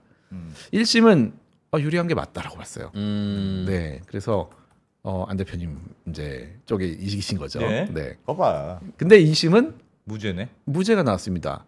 원래 상급 법원 판사들이 똑같아요. 이 프로님 논리랑 똑같았어요. 똑같았습니다. 이게 예. 유리랑 분리라는 거는 가격으로 따지면은 알 수가 있습니다. 비싸거나 어, 싸면은 어. 이게 유리 분리가 확실히 나오는데 음. 물량으로 하기가 애매하지 않냐. 뭐 100%의 물량이 있을 때 도대체 어느 뭐 80% 이상이면은 이것이 유리한 거냐, 음. 과대한 거냐 알 수가 없지 않느냐. 그렇죠. 그리고 더 중요한 거는 여기서는 공정거래위원회가 이게 음. 이제 행정 규제이기 때문에 예. 입증 책임이 있습니다. 음. 유리하다는 걸. 네, 유리하다는 거를 누가 공정위가 입증을 해야 됩니다. 음. 근데 입증이 안 되면 부당전행이 아닌 겁니다. 아, 그래서 그렇죠. 당신들이 얼 마나 논리적이에요. 음. 일 1심 판사님은 왜 저렇게 하신 거지? 좀 심하다고 생각했겠지. 심하다고. 아, 뭘 심하지. 그러나 판결을 감정으로 할 거면 다 중학생들 시키지 왜 판사를 시킵니까? 예. 대법원 먼저- 판결은 어떻게 됐습니까? 네, 네. 요 참고로 요 옆에 있는 게 이제 궁금하실 수도 있는데 네. 이제 성관지 의무는 다 아시는 이제 무- 배임 횡령 같은 경우고요. 음. 이제 1심에서 무죄가 나왔던 거는 이게 횡령은 돈- 아니다. 네, 돈은 아니고 어, 그렇죠. 재산상의 이익이니까. 어. 네, 그게 횡령을 약간 공소장이 좀 잘못돼 가지고 근데 뒤에는 유지 네, 배임은 배임으로는 유죄가 배임은. 있네요. 네. 누구의 배임이에요? 그래서 요 이제 회사에 피자 회사에 어, 조금 더 비싸게 들어간 게 있었습니다. 그래가지고 배임이 됐어요. 아. 네, 그래서 요 개인 회사가 사실은 이제 대부분 가격을 많이 맞추거든요. 예. 근데 음. 맞추지 않고 들어간 것도 있었기 때문에 어쨌든 배임은 인정되었고 요 부분은 큰 이슈는 되지 않았습니다. 저거는 유죄인데 어, 앞에가 그런데 무죄가 될수 부당전에 있습니까? 무- 무죄예요? 아, 그러니까 횡령이랑 이건 좀 법적인 개념인데 횡령은 실제로 현금을 가지고 나와야 됩니다. 예. 근데 배임은 현금이 아니고 음. 어떤 이익을 빼돌리면 배임입니다. 근데 같은 거예요. 그렇죠. 회사에 손실을 예, 끼쳤으면. 같은 건데 1심에서는 이게 되게 형식적인 거고 절차적인 건데 음. 배임을 안 넣은 거예요. 그 음. 공소장에. 그러니까 음, 음, 음. 이 판사는 그 공소장에 없는 거는 판단을 못 하게 돼 있거든요. 아. 그래서 공소장을 변경해 가지고 그냥 배임이 2심에서는 유죄가 된 겁니다. 똑같은 건데. 네, 그 약간 배임은 형식적- 맞다. 네, 맞습니다. 부당 지원은 아니다. 자, 그래서 이제 부당 지원이 3심에서 굉장히 저도 기다렸던 판결이었고요. 예. 2022년에 자, 과연 이제 누가 맞았 맞으셨을지 대법원에 네, 대법원 대법원 2022년 9월 16일 아. 판결입니다. 아하. 어쩐지 저 부, 배임이 유죄가 된 게 찝찝했어. 그래, 저거는 유죄고 부당 지원은 아니라고 하면 저게 왜 유죄야? 어. 자, 그 대법원 판결이 나왔을 때 굉장히 예. 기대를 하고 음. 굉장히 이제 수십 장짜리 판결문을 봤는데 이 부분의 내용이 왜 유죄이고 이게 왜 물량이 많아도 현재 유리한 거에 대한 굉장히 논증이 있을 걸로 기대를 했어요. 네. 근데 이 다섯 줄이 전부였습니다. 저게 자. 다예요? 네, 이게 다였는데 예. 한번 보시죠. 이거는 뭐 중요하니까 한번 읽어보겠습니다. 이 사건 지원 행위의 거래 물량만으로도 지원 개체인 A사 미사 이제 이게 개인 회사죠. 예. 사, 사업 개시 또는 사업 유지를 위한 최소한의 물량을 초과할 정도의 거래 규모가 확보되어 음. 지원 객체의 사업 위험이 제거되었다고 볼 수 있어. 아, 있기 말이에요, 때문에 그게. 현저한 규모의 거래, 즉 현저히 유리한 거래에 해당한다. 저 A사 B사는 무, 무슨 회사예요? A사 B사가 개인 회사입니다. 그 아니, 그 중간- 중간에 아. 중간에 회사. 그냥 그 그것만 한 회사, 네네. 전화만 받은 회사, 맞습니다. 초- 충분한 겨- 거래가 됐다. 근데 이 논리가 두 분이 말씀하시던 논리가 아니죠 지금. 그렇죠. 물량이 뭐 지원- 많다 적다 이게 유리 적다 유리하다 불리하다의 얘기가 아니고 지원 기 중간에 통행세 받는 저 회사가 네. 네. 그렇게까지 많은 물량을 받아야 사업이 겨우 유지될 정도는 아니고 사업이 겨우 유지될 정도보다는 더 많이 물량을 하- 거래할 수 있도록 해줬기 때문에 어, 상당히 유리하다. 현재 유리하다라고 본 건데. 아 그러니까 이거 사업 위험이 없어진 것만 가지고도 지원한 걸로 볼 수 있다. 그렇죠. 그 말이잖아요. 맞습니다. 중간에 통행세 받는 회사는 거의 거지처럼 근근히 살아야 된다. 아니, 그런 그러니까 뜻은 아닙니다. 이거는 양이 얼마나 많아야를 질문을 아예 없애버린 거고 맞습니다. 질문이 없어진 거고 네네. 그냥 일, 야 요거는 그냥 밀어준 것만으로가 인정됐다면 무조건 다 유죄야. 음. 이런 거다. 뜻이네요. 그러니까 2심에서 무죄가 나왔던 이 논리가 물량으로 가게 되면은 가격이면은 이제 일- 가격에서의 유리 분리를 입증한 절차는 일단 시장 가격을 당연하죠. 조사합니다. 그렇겠죠. 음. 그래서 시장 가격보다 몇 프로가 높으면 현저하다 상당하다를 따집니다. 음. 예. 그렇게 나갑니다. 음. 그러면 이제 공정위가 입증이 성공하게 되는 거예요. 네. 근데 그것도 굉장히 어렵습니다. 사실은 뭐 그래. 쌀이나 그럼. 물도 시가가 거의 없는데 표준, 예. 표준화되어 있지도 않을 거고. 네, 그럼. 주식도 아니고 이게 음. 시가 거의 없거든요. 그러니까 그걸 굉장히 어려움을 겪었는데 물량이라는 거는 그럼 기준이 뭐냐라고 물어본 거예요. 이 신법원은. 음, 그렇죠. 지금 90%를 기준으로 그보다 5%더 많으면 현재 유리한 거냐? 음. 50%냐? 음. 이거를 공정이 당신이 입증해라. 음, 네. 기준도 없고 기준. 현, 현저의 기준도 없고. 네. 어. 그러니까 그럼 입증하기 유불- 어렵죠. 입증 못해서 이제 졌어요. 무죄가 나왔던 거예요. 이 음. 음, 음. 근데 그 논리가 아예 대법원 판결에 없었어요. 그러니까 어. 안 대표님 말씀하신 것처럼 그 물량이라는 아예 기준 자체를 빼버린 거예요. 지금. 대법원의 논리는 뭐예요? 뭐예요? 대법원의 논리는 무슨 말이에요? 안 대표님 말씀하신 것처럼 물량 때문에 본 게 아니고 음. 처음 시작할 때 이 정도의 물량을 준 것만으로도 유- 유리하다라고 해버린 거예요. 그러니까 물량이 많다 적다가 아니고 네. 사업이 개시할 때 어느 정도 할 수 있을 정도의 물량만 준 것으로도 유리한 거다라는 논리를 새로 개발한 겁니다 지금. 음. 그 말은 예를 들면 현대건설이 아파트 지으면서 네. 신발장 납품하는 업체를 음. 하나 선정해서 표준화시킬 수 있잖아요. 네. 음. 그런데 신발장 납품하는 업체는 그 회사가 직원 뽑고 대충 유지하려면 1년에 한뭐 100개 정도 납품하면 됩니다라고 음. 하는데 현대 아파트는 1년에 그 물량이 만 개일 수 있다고요. 음, 네. 그러면 100개보다 더 주문하면 무조건 유리한 거 아닙니까? 음. 그럼 현대 현대 아파트는 그런 업체 100개를 나누어서 물량을 주, 주 줘야 그래야 아니지 아니지 아니지 그게 아니고 저 대법원 판결은 100개를 하건 1000개를 다 몰아주건 괜찮은데 음. 대주주 회사한테는 물량 주지 말라는 뜻이죠 아예 뭐 그렇게도 해석할 수 있고요. 어, 대주주 물량 회사는 줬다는 것 자체가 문제야 그럼 애초부터 대주주 쪽하고는 거래하지 마라. 그렇게 법을 만들어 놓든가. 아예. 법은 현저하게 유리한 조건으로 하지 말라고 해놓고 어. 거래를 했다는 이유로 그 자체가 현저하게 유리하다고 우기면 음. 그게 말이 되는 겁니까? 다른 업체하고 거래할 때도 그럼 그게 다 현저하게 유리한 거잖아요. 니네는 얼마만큼 물량을 받아가야 브레이크 이븐, 즉 손익 분기점이니 음. 아 78개야? 그럼 78개만 해.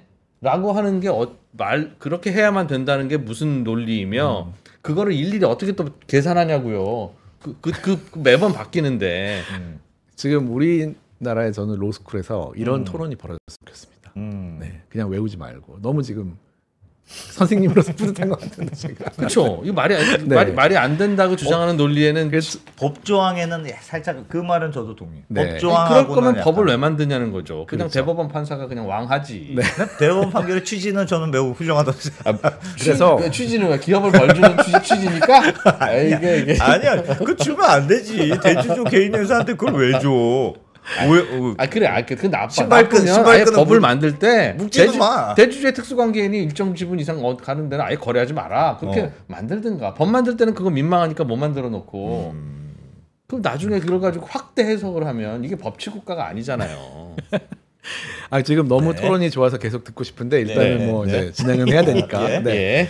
예, 저도 이 판결을 봤을 때 어. 비슷한 느낌이 있었습니다. 아 이게 법리적으로는 어려우니까 음. 새로운 논리로 이 유죄를 만들었구나. 예. 네 이렇게 어, 부당전 아니라고 했을 때 너무 어떤 상식에 버- 어긋나는 느낌이 있었나 봐요. 음, 대- 대법원도. 음, 음. 그래서 현저히 유리한 거래에 해당된다라고 그 조금 국어의 범위를 넘어서는 이제 논리를 개발한 걸로 저는 이해를 했습니다. 그러니까 거래 네. 상대방이 이익을 볼, 볼지 손해를 볼지 간당간당한 수준까지만 음. 거래하는 건 괜찮은데 그거보다 넘어서 이익을 볼 만한 거래 물량을 주는 것 자체가 그렇지. 현저히 유리한 거래라는 게 대법원의 논리라면 음. 그러면 모든 거래처와의 거래가 다 현저히 유리한 거래잖아요. 아니, 아니 지 모든 다른 데는 현저하게 거래해도 괜찮다. 그건 어차피 따로 배임죄가 있기 때문에 음. 그거는 배임죄로 잡는 거고 이거는 그러면- 대주주와 관련된 회사니까 알겠어요. 문제예요. 그러면 그럼 시- 그 어, 현저 근데 현저하게 유리하게 거래를 하면 배임죄 아닙니까? 에브리 모든 경우에. yes. 네. 그러면 이 세상에 다른 업체랑 거래하는 모든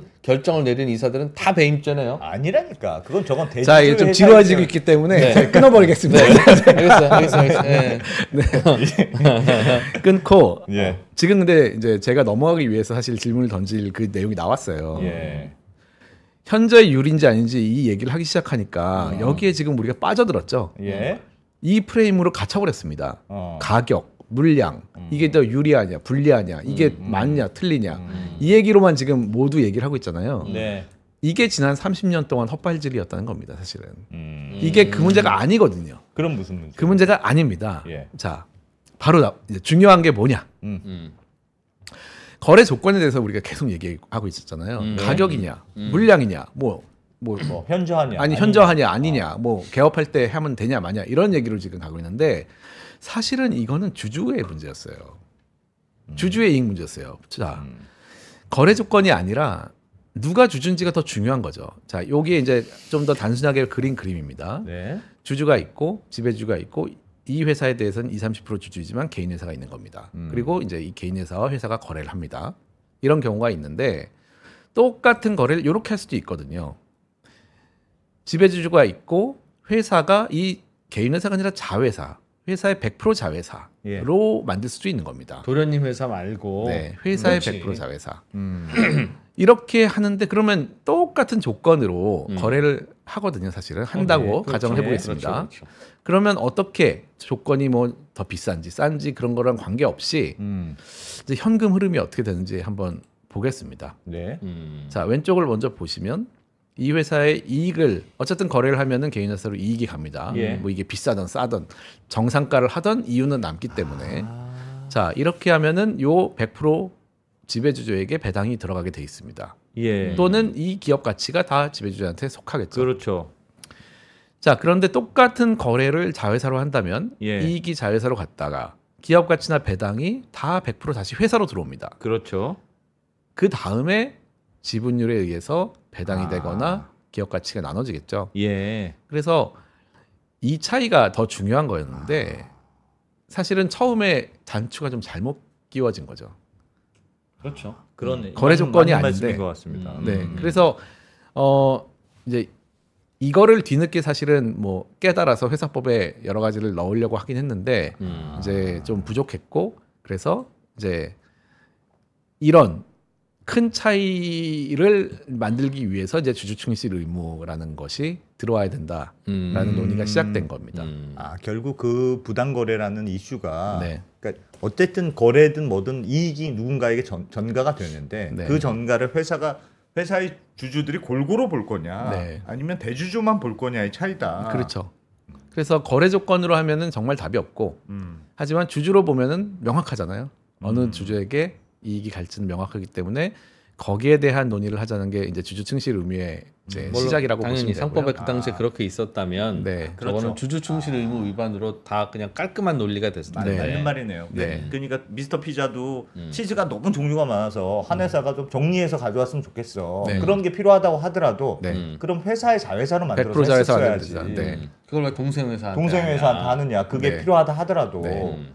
맞는 말이네. 네. 그래서 회사의 자회사였다면은 그게 뭐 비싸게 사건 물론 세금의 문제 좀 있습니다. 예. 그두 회사가 이제 어디가 이익이 많이 나오면 법인세를 뭐 탈루하려고 약간 조절할 수는 있거든요. 그래서 모든 법인은 법인의 규모와 무관하게 법인세율을 동일하게 해야지 음. 대기업 법인세율은 높고 중소기업 법인세율은 낮추면 뭐 그러면 또- 그래서 말이 안 되는 겁니다. 네. 음. 그래서 그런 얘기를 하는 그런 지금까지 얘기가 계열 회사 간의 거래가 30년 동안 좀 헛발질을 했다. 알겠습니다. 좀 그런 어, 얘기였습니다. 그거, 요, 깔끔하네. 요, 예, 확, 아. 확 이해됐습니다. 네. 음. 그러면 이제 이 뒤에는 자본 거래에 관한 게 있습니다. 예. 그래서 하나는 보통 손익 거래는 서로 두 회사가 돈을 주고받고 물건을 할 주고받는 거래. 아, 그다음에 자본 거래는 회사 간의 거래가 아니고 주주 간의 거래를 보통 자본 거래라고 합니다. 음. 주식이 오고 가는 거래입니다. 예.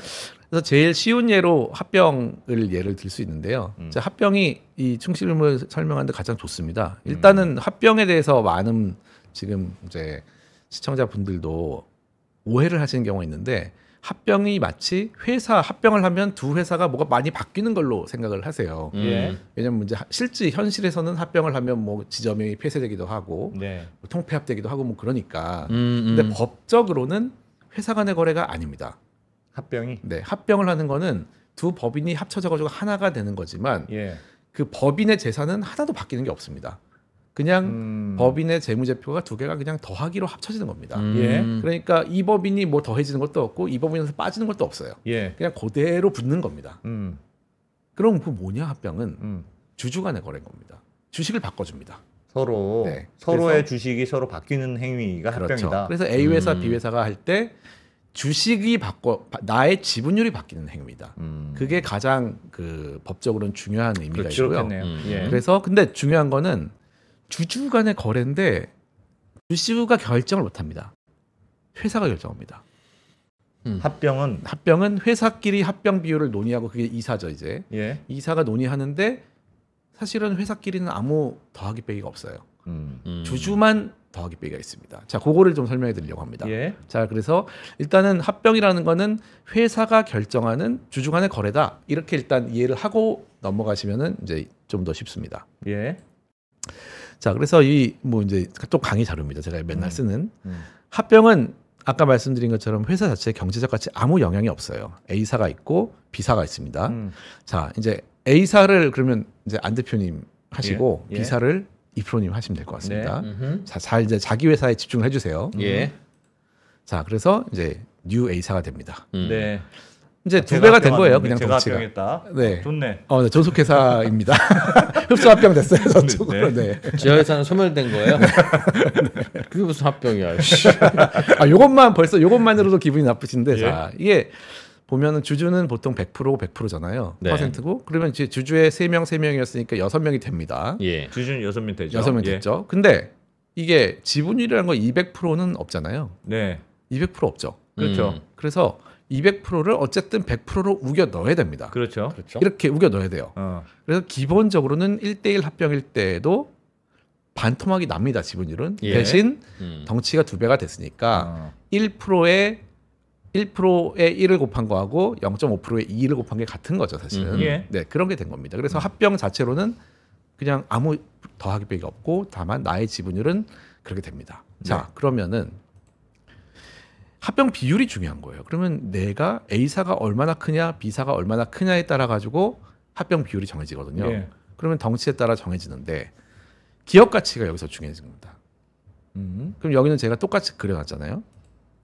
만약에 이제 1대1로 그린 겁니다. 음. 그러면 이제 뭐 A사도 이제 0.5% 되고 음. B사도 0.5% 뭐, 되니까 예, 주주 뭐것 입장에서는 이제 뭐 그렇게 될 수 있죠. 네. 근데 만약에 이렇게 됐어요. 1대 2다. 1대 2다. B사가 음. 어, 두 배의 가- 기업 가치를 가지게 돼요. 예. 근데 그러면은 갑자기 A사 주주는 0.5%가 아니라 0.33%의 그렇게 지분율이 되겠죠. 되겠죠. 예, 예. 이 덩치는 똑같습니다. 더해진 회사의 덩치는 똑같은데 총합이 3이니까 네. 3분의 1. 3분의 1, 3분의 2가 돼요. 예. 순간적으로 합병 비율에 따라 가지고 나의 재산권이 확 줄었습니다. A사 네. 입장에서 음. 이게 합병이에요. 음, 근데 알겠어요. 합병 비율이 정해지는 거는 순간입니다. 음. 또 이렇게 보면 3, 3분의 1 되면 네. 음. 중요한 거는 이제 기업 가치라는 게 문제는 뭘까요? 자산도 아니고 매출도 아니고 수익도 아니고 미래 가치 다 합쳐 가지고 정하는 법이 너무 많다는 거예요. 음. 기업의 가치를 기업의 평가할 가치가. 때 예. 기업의 가치를 평가하는 정답은 없잖아요. 음. 네. 근데 뭐 일반적으로 상장 회사면 주가, 주가를 비상장 회사면 회계법인이 산정한 가치. 네. 그쵸. 주로 그냥 그렇게 결정하지 않습니까? 그런데 뭐 이제 그 산정하는 가치의 방법, 가치 산정 방법도 뭐 DCF 법 도 있고 음, 뭐 다른 그렇지. 법도 있고 뭐 음. 자산 평가법도 있고 음. 수익 평가를 할 수도 있고 그거를 뭐 1대 2로 뭐 바꾸는 것도 있고 음. 상증세법성 방법도 있고 음. 뭐 되게 많은 걸로 저도 알고 있습니다. 예. 그럼요. 그럼요. 그래서 음. 이 합병 비율을 결정할 때 A사와 B사의 이 주주 두 분이 한번 마주 보시겠어요? 네. 네. 마주 봐요. 비율 예. 이 비율을 결정하는 논의를 하게 되면은 예. 어. 결론이 날까요? 멱살 엄청- 당연히 안 싸우겠네. 되지. 네, 예. 왜냐하면 그거에 따라 가지고 나의 재산권이 바로 결정 결정 결정되는데. 그렇지, 그렇지. 네. 그렇죠. 그렇게 될 수밖에 없는 게 합병입니다. 음. 그래서 아, 내 어차피 쪼그라드는데 지분율이 네. 얼마나 쪼그라드느냐에 따라 완전 달라지니까. 그렇죠. 그럼. 그래서 합병은 사실은 엄청 어려운 겁니다. 아 그러네요. 네. 매우 예민하게. 결혼할 매우 때도 예민하다. 마찬가지잖아요. 음. 어, 결혼할 때도 네. 네. 각자의 등급과 레벨을 지들 알아서 기준에 맞춰놓고 음. 야 내가 좀 레벨 높으니까 집은 네가 해와. 뭐 이제 이런 식으로 하다가 야 그걸 내가 다 해오는 건 좀 그렇지 않그 정도 차이는 아니야. 뭐 이러면 이제 서로 싸우지. 자, 이제 싸움을 할 수 있다는 싸울 수밖에 없다는 게 이해가 되면 이제 예. 이사가. 그러면 여기서 아까 처음 말씀드린 게 합병은 회사가 결정하는 주주의 거래니까 주주는 거래 그 관여를 할 수가 없습니다 결정에. 그럼 대신 주총에서 결 아, 아닌가요? 아닙니다. 합병 비율은 결국 승인은 주총에서 받지만 예. 그 비율 자체를 결정하는 건 이제 이사회입니다. 처음에. 예. 아. 이사가 가져가서 이제 승인을 받게 돼 있죠. 예. 그래서 그럼 이사들끼리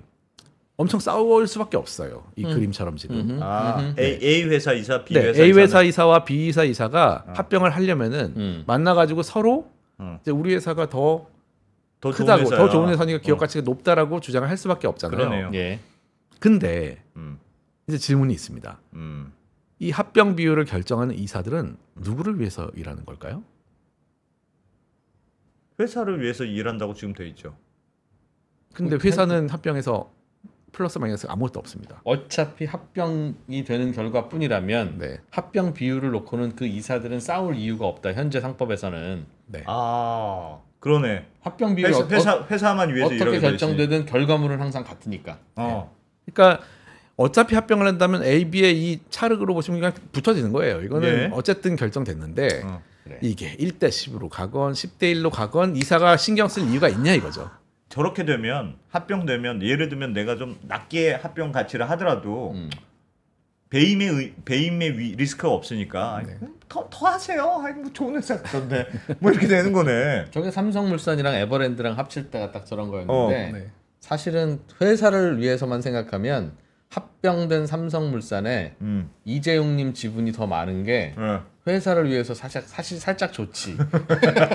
회사를 위해서만 어, 생각하면 어, 어. 그래. 그 자연스럽게 그거 얼마나 뭐- 잘해 주시겠어. 거기에 대해서 회사를 위해서는 어. 사실 그게 좀 좋습니다.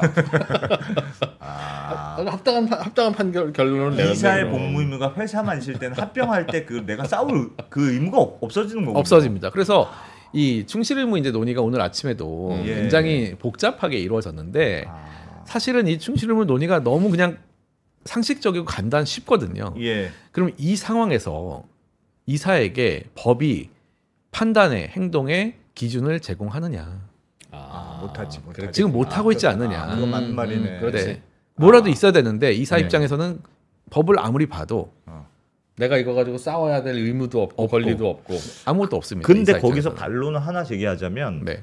이사가 그냥 그래도 많이 하세요 이렇게 후하게 합병 비율을 결정했다고 하더라도 결국 그 합병 비율은 주주총회에서 찬성하느냐 부결하느냐 결과가 네. 나오니까 네. 어쨌든 주주들의 최종 판단을 거친다고 볼 수 있지는 어 않아요. 맞습니다. 그것도 어. 네 맞습니다. 근데 우리나라 주주들은 주총장에 안 나오거든요. 아. 그래서 사실상 이제 결정되는데 음. 그래서 이제 그 굉장히 뭐 현실은 복잡하지만 단순하게 보면 예. 이 이사들이 회사를 위해서 일을 한다는 지금의 이 상법상 문구를 보면은 음, 아무 기준이 없는 거랑 똑같다는 겁니다. 그러네. 음. 네, 그래서 없어요. 그냥 아무렇게나 야, 해라라는 그러네. 거랑 같습니다. 아, 그 저게 저런 차이가 있구나. 네, 그러니까 이게 자본거래이기 때문인 겁니다. 음. 자본거래에서는 회사가 없어집니다. 음. 근데 회사를 위해서 하라고 해요. 음. 그래서 이제 전체 주주를 위해서를 넣자. 이게 사실은 이 논의가 제일 처음 나온 게 합병입니다. 그러면 그 상법이 개정돼서 네. 주주의 이사는 주주의 주주한테도 복무하는 사람이야 네. 사람이다 네. 이렇게 정의를 내려주면 네. 합병할 때 예를 들면 안 싸우면 배임이 됩니까? 그럴 수 있습니다. 그래서 미국에 있는 이제 충실임무 관련된 판결도 음. 대부분 다 M&A는 합병에서 나옵니다. 음. 뭐 예를 들어서 계열사 또는 자회사 음. 모회사가 합병을 할때 예. 모회사 주주들이 막 관여를 하고 싶잖아요. 예. 그러면은 이해 충돌이 일어납니다. 모회사와 나머지 주주는 이해 충돌이 발생을 하잖아요. 예. 그럴 때 이사가 공정하게 하지 않으면은 바로 거기에 대해서 이제 아. 책임이 들어간다는 겁니다. 자, 그런데 현실적으로 그럼 이사가 이 합병 비율에도 관여할 수 있게 네. 각자의 주주들에게 충실하라는 의무를 주어질 질 경우엔 음. 그래도 합병 비율이 결정되어야 합병이 될 텐데 네. 결정된 합병 비율이 각, 마음에 안 들어? 각 이사들이 각각의 주주들에게 충실했음을 네. 뭘로 입증합니까? 이럴 때는 이제 지금은 그 이해 충돌 상황은 아니고 일단은 깔끔하게 주주가 다 갈라져 있는 상황이지만 예. 보통은 다 이해 충돌 상황이 있거든요. 음. 이해 그렇죠? 충돌일 때는 에버랜드 주주가 삼성물산 주식도 갖고 있고 네, 서로 이렇게 두 가지 기준이 있습니다. 이제 음. 완전한 공정성을 증명하는 거는 네. 절차와 실제적인 조건이 공정하다는 것을 이사가 다 증명을 합니다. 음. 그 절차는 예를 들어서 완전히 독립적인 사람이었고 예. 음. 독립적으로 협상을 했고 서로 관련된 사람이 없었다 등등등등 이런 절차, 형식적 절차가 형식 공정했다. 절차를 공정했다. 그러니까 이사가 다, 뭐 에버랜드 이사는 삼성물산 주식 안 갖고 있고 뭐 그런 식이죠. 삼성물산에 취직시킨 조카도 없고 음. 뭐 등등 그런 거 네네. 네. 그거야 언제든지 맞춤 맞출 수 있죠. 네, 절차를 하고 그 다음에 네. 실제적인 조건이 중요한데 여기서 이제 fair market value다라는 게 나옵니다. 그래서 공정 가격으로 우리가 합병 비율을 결정했다라는 거를 네. 어떻게든 입증을 해놔야 돼요. 음. 근데 이제 이 가격은 아까도 저희가 이 소일코 외양광고 측에서 봤듯이 음. 시가라는 가격은 되게 어렵습니다. 어렵죠. 예. 증명 특히나 미국에서의 증명의 수준이라는 건 되게 높은 수준을 원하기 때문에 예. 음. 거의 불가능하다 보시면 돼요. 그렇게 이제 뭐라도 시비 걸어서 잘못됐다고 네. 할수 있을 것 같아요. 어떤 맞습니다. 식으로 밸류를 정해도 이런 시각에서 보면 이상한데? 그렇죠. 라고 어, 어, 그 누가 얘기할 수 그래서 그 누가 할 수 있지. 그런 수. 그 완전한 공정성을 증명한 케이스는 굉장히 거의 없고 네. 예. 그러니까 이 거래가 안 되잖아요, 자꾸. 음. 그래서 약간 숨통을 틔워준 조건이 있습니다. 음. 그래서 이런 합병을 할 때는 자 완전한 공정성 증명 너무 어려우니까 예. 두 가지만 해라 그러면은 음. 이사회에서도 관련된 그 이해 충돌이 있는 이사들 다 빠지고 네. 독립적인 이사위원회를 만들고 그건 어렵지 않고. 네, 그럼 그 위원회에서 뭐 정보도 받고 로펌도 고용하고 회계원 고용해서 다 모든 걸 해라. 네. 그래서 결정을 하고. 그 다음에 플러스 주총에서도 음. 이해관계는 다 빠지고 나머지 주주만 결정해라. 이렇게 아. 두 가지 조건을 맞춰 정확하게 예, 맞췄다면 들면 주총에서 대주주는 투표하지 말고. 네. 아. 근데 두 회사가 합병하는데 왜 대주주가 이해관계인이라 빠져야 됩니까? 예를 들면 음. 삼, 삼성물산과 에버랜드가 합병할 때 네. 누가 빠지죠? 이제 이제 이재용이 좀 복잡하지만 어쨌든 뭡니까? 특수관계인으로 묶여 있는 계열 회사와 어쨌든 뭐 이재용 회장 같은 가족들은 빠지는 거죠 다. 왜요? 왜? 왜냐하면 공정성에서 이제 이해 충돌 상황에서는 공정성이 의심된다는 겁니다. 그 삼성물산조차도 이재용님이 어, 지배하고 있으니 네, 음. 어, 에버랜드도 지배하고 있고 삼성물산도 간접적으로 지배하고 있으니 네. 아, 둘 다 관련된 관련된 사람이니. 빠져라. 사실 이제 미국의 케이스는 네. 우리나라처럼 이렇게 복잡한 기업 집단이 없기 때문에 네. 다 직접적인 주주 관계가 있습니다. 음. 근데 이제 우리나라로 치환을 해 가지고 얘기하면은 그렇게 음. 얘기할 수 있겠죠. 특수 관계인이 이제 인정되니까. 음. 그러면 나머지 빠진 주주들끼리 각 회사에서 결정을 하는 겁니다. 그러면 그 말은 주주들도 투표할 때도 내 회사가 무조건 좋아야 돼. 나는 사람들만 남아서 투표하라는 맞습니다. 뜻입니까? 네네네. 아, 저- 정확합니다. 난 사실은 우리가 지는 게 더 좋아. 이런 사람이 껴 있어서 투표하면 그러니까 뭐 안 된다. 진다기보다는 이제 자기 지분율에 따라 가지고 어 나는 B 회사에는 1%지만은 A 회사에 내가 10%인데 네. 그럼 B 회사 투표할 때 어. 빠져라. 어. 뭔가 이제 그러니까 진짜 투표를 에버랜드 할수 있다면, 삼성물산의 네. 경우에는 그러면 네. 삼성물산 투표할 때는 이재용 빠져라. 네. 그런 얘기입니까? 뭐 그렇습니다. 음. 근데 삼성물산 투표할 때 이재용 빠졌으면 결과가 달라졌을까요? 음, 알 수 없죠. 그래서 이게 아, 알 수- 알수 사실은 없죠. 그런 경우에 꼭 결과가 달라진다는 법은 없습니다. 왜냐하면 예. 최근에 이제 일론 머스크가 어, 굉장히 재밌는 일이 있었죠. 자기 스톡 옵션을 거액의 스톡 옵션을 받는 그 결정에 대해서 예. 소액 주주가 이제 소송을 걸어가지고 델라웨어 법원에서 네. 취소시켰습니다. 스톡 어. 옵션을 음. 이 공정성이 좀 부족했다. 예. 해가지고 취소를 시키니까 이 항소를 하면서 다시 주총을 열었습니다. 예. 그래가지고 이거에 대해서 한번 승인을 해주십시오. 음. 주총을 열어가지고 했는데 음. 거기에서는 다른 이제 테슬라의 이제 일론 머스크하고 그 동생 다 빠졌어요, 진짜로. 아, 빠지고 때? 나머지 주주에게 투표를 했는데 어. 승인을 받았어요. 아. 네, 그러니까 사실은 어떤 그 정말 주주들이 이 사람이 회사를 키울 거라고 믿고 있다면 음. 승인 받을 수도 있는 거죠. 아. 음. 그러니까 우리 항상 문제가 됐던 그 삼성물산 에버랜드는 네, 삼성물산 투표할 때는 이재용님 특수관계인 빠져라. 음. 뭐 각자 다 빠져야 됩니다, 사실은. 네. 에버랜드 투표할 때도 네. 이재용님이 빠져야 되나요? 네, 그 이제 원칙적으로 우리나라 좀 복잡해가지고 어떻게 할지는 좀 생각해봐야 되는데 기본적으로는 빠지는 게 맞습니다. 특수관계는 다. 특수관계인은 네, 왜냐하면 이쪽에서는 왜, 왜, 이쪽의 특수관계이니까. 음. 아 네. 이쪽 집은 한 주라도 아, 갖고 있으면 그렇지, 네. 그렇지. 저, 저는 그 저건 합리적인 것 같습니다. 네. 그러니까 예를 들면 대주주라도 내 회사와 관련된 투표는 빠질 이유가 없는데 음, 네. 저쪽하고 이쪽하고 양다리를 걸치고 있으면 너는 스파인지 아닌지 의심 의심스럽다는 거지 않습니까? 네. 물산 지분을 개인적으로 갖고 있었을까요? 개인적으로 약간 있었던 걸로 알고 있습니다. 음. 네. 갖... 아 개인적으로 갖고 근데 있으면 또 거기 계열에서도 어차피 다 빠져야 되기 때문에 음. 네, 개인만 빠지는 건 아닙니다. 음. 자 이게 너무 구체적인 케이스라면 이제. 예? 많은데 그래서 이제 결국은 우리가 이제 시작점인데 네. 이런 논의가 가능하도록 만드는 것이 바로 음, 음, 이제 주주에 대한 충실 의무가 들어와야지만 네. 그 얘기를 시작할 수가 있는 겁니다. 왜냐하면 아. 지금의 법에서는 그 얘기가 아예 할 수가 없는 거예요. 음, 어차피 회사를 위해서도 돼 있는데 이사들도 그러네 그러네 주- 이 합병 비율에 대해서 누가 좀 이상하다 생각해도 예. 아, 이 합병 비율 좀 바꿔야 될 것 같은데요 하면은 어 당신 왜 그러세요? 예. 법이 있어요? 하면은 그런 법은 없어요 지금은. 음. 네 그런 상황입니다 지금은.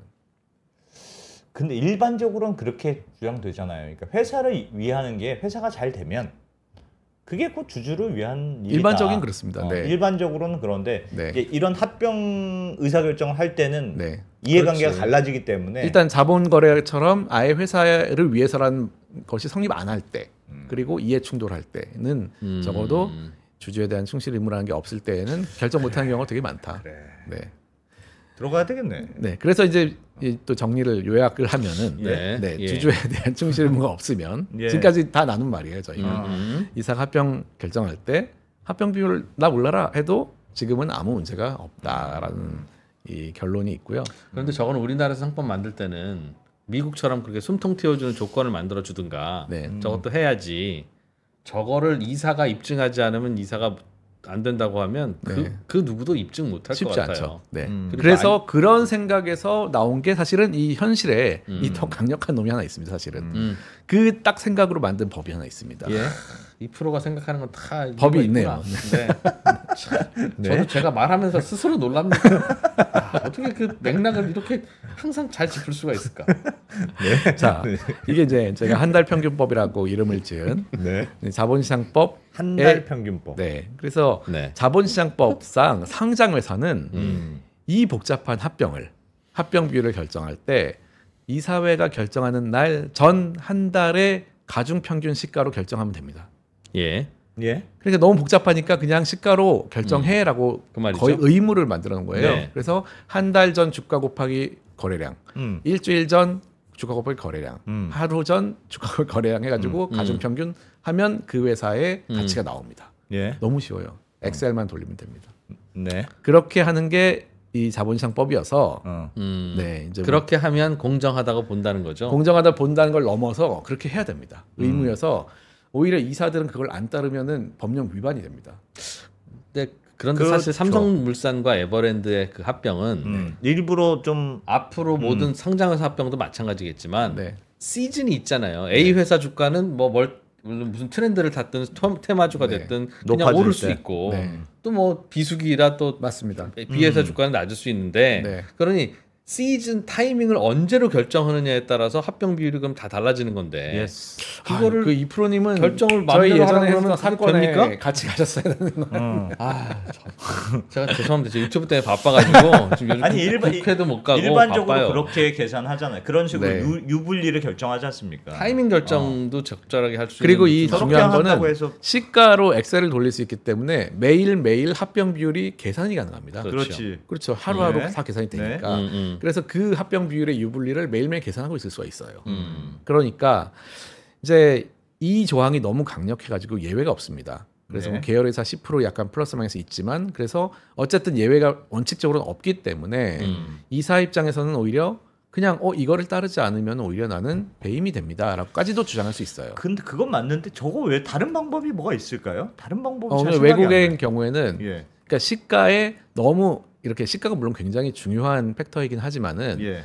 시가가 이상할 때가 있거든요 분명히 시기나 이런 것 때문에 네, 그럴 네. 때는 이제 공정 가격을 추정하는 요 요소로 시가를 쓰지 예.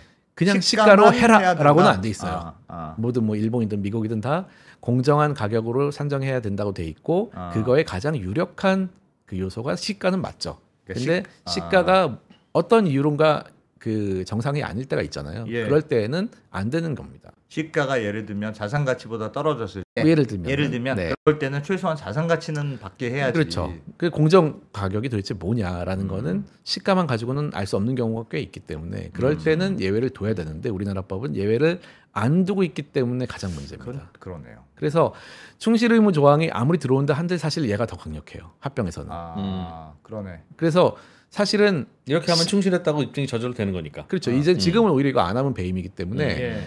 이제 충실 의무가 들어오고 이 법이 있다면은 아까 이프로님 말씀하신 것처럼 시기의 문제만 남아요. 예. 아. 최선의 시기를 결정했느냐로 아마 갈 수밖에 없는데 그건 음. 또 예. 어려운 문제죠. 아, 그거 미래를 알수 서, 없으니까 서 로 서로 입증하기가 쉽지 않죠. 어렵습니다. 특정 그래서 주주한테 유리한 시즌을 만, 찾을 수 있죠. 음. 그렇죠. 그래서 지금까지는 대부분은 그 시즌 시즌이 왔을 때 뭐 어떤 쪽에 주가가 확 떨어졌을 때 음. 이런 자본 거래가 일어나고 이런 경우가 꽤 많았습니다. 근데 음. 법적으로는 입증하기가 되게 어렵습니다. 음. 그래서 그래서 나는 어- 어쨌든 그 합병 비율이 마음에 안 들어. 내 주식 사가. 네 라는 이른바 청구. 청구권이 청구권. 있죠 지금도. 있긴 있습니다. 예. 네. 그럼 그것만 있으면 다 해결되는 거 아닙니까? 마음에 그래서- 안 들면 그거 하겠지. 그거 하죠. 근데 워낙 저평가가 돼 있을 때는 사실 주식 매수 청구권은 이제 두 달 평균법입니다. 그래서 두 달 아. 평균이어서 크게 뭐 차이가 안 나고요. 그건 안 예. 되지. 예. 네, 그래서 사상 최고가로 사달라고 해야지. 근데 거기에 다행히도 법이 이 법이 중요한 것이 예. 합병 비율을 결정할 때는 한 달 평균법 의무예요. 예. 예외가 하나도 없어요. 예. 근데 주식 매수 청구권을 할 때는 두 달 평균 또는 법원이 결정할 수 있다 돼 있어요. 음. 예외 숨통을 약간 틔워줬거든요. 예. 네. 그래서 이제 삼성물산 건에서 일성 신약 케이스가 나온 겁니다. 소송 붙어가지고 법원이 아, 조금 네. 유리한 가격 네, 해줬죠. 5만 7천 원에서 6만 6천 원으로 예, 올려준 게 그래서 예. 주식 매수 청구이기 때문에 가능했어요. 근데 그 아. 법원의 판결이 당시 삼성물산 모든 주주에게 효력이 미치지 않은 안 이유는. 뭡니까?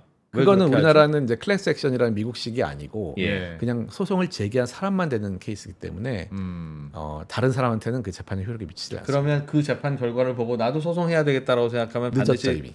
왜요? 주식 매수 청구의 기간이 있습니다. 아. 그래서 이게 어떻게 되냐면 주식 매수 청구권을 행사할 때 일단 하고 예. 그 다음에 합의를 합니다. 그래가지고 다 돈으로 바꿔준 사람들은 소송을 안 한 거고요. 예. 음. 그 다음에 이제 아 나는 그게 마음에 들지 않는다 하면 그때 법원에 주식 매수 가격 결정 신청을 하게 됩니다. 아 그럼 일성신약 그 주주는 혹시라도 법원에서도 유리한 결정이 안 나오면 네. 주식 매수 청구권조차도 날아가는 아닙니다. 그거는 이제 5만 7천 원까지는 이제 받는 거는 영원히? 돼 있고요. 여- 영원히까지는 어쨌든 뭐 소송 끝날 때까지 그거는 받는 건데. 그거는 확정되는 거고 네네네. 내가 주식 매수 청구권 신청했으니까 네네. 그래서 뭐 그거는 뭐 공탁해 놓기도 하고 캐시만 그렇습니다. 안 받으면 되는 거다. 네네. 그럼 모든 주주들은 앞으로 그렇게 해야 그렇게 되겠네요. 해야 되겠네요. 하면 되는데 음. 많은 이제 일반 주주들이 사실 그렇게 안 하시더라고요. 네, 많이 하면 좋은데 일단 주식 매수 청구권 신청하고 음, 상황 봐서 반대할 반대할 거냐 아니 거기서 소송을 할 거냐 음. 아니면 그냥 받을 거냐 근데. 왜냐하면은 지금까지 그 일성신약 케이스 전에는 주식 매수 가격이 올라간 케이스가 거의 없었습니다. 음. 다 합병 비율하고 거의 똑같이 결정이 음. 됐기 때문에 실이 거의 없다고 생각한 건데 예. 이제 이 케이스가 굉장히 예외적으로 그 시기를 좀 앞으로 당기면서 이제 올려준 거예요, 사실은. 그렇군요. 그렇군요. 음. 그래서 얘가 사실은 그 현실적으로는 바뀌어야 되는 굉장히 큰 법인데 뭐 음. 최근에 이제 아, 저거를 의무 사항으로 해 놓으니까 문제가 되고 있는 또 뭐 케이스가 있더라고요. 예. 네. 그래서 말씀해 주십시오. 네. 최근에 뭐 최근에 저도 이제 이 건이 좀 언론에 많이 나오길래 음, 음. 이제 뭐 2017년에 분할을 했고 2024년에 합병을 추진하고 있, 는것 같습니다. 네. 그래서 지금 이제 합병기를 앞두고 있는 것 같은데 음.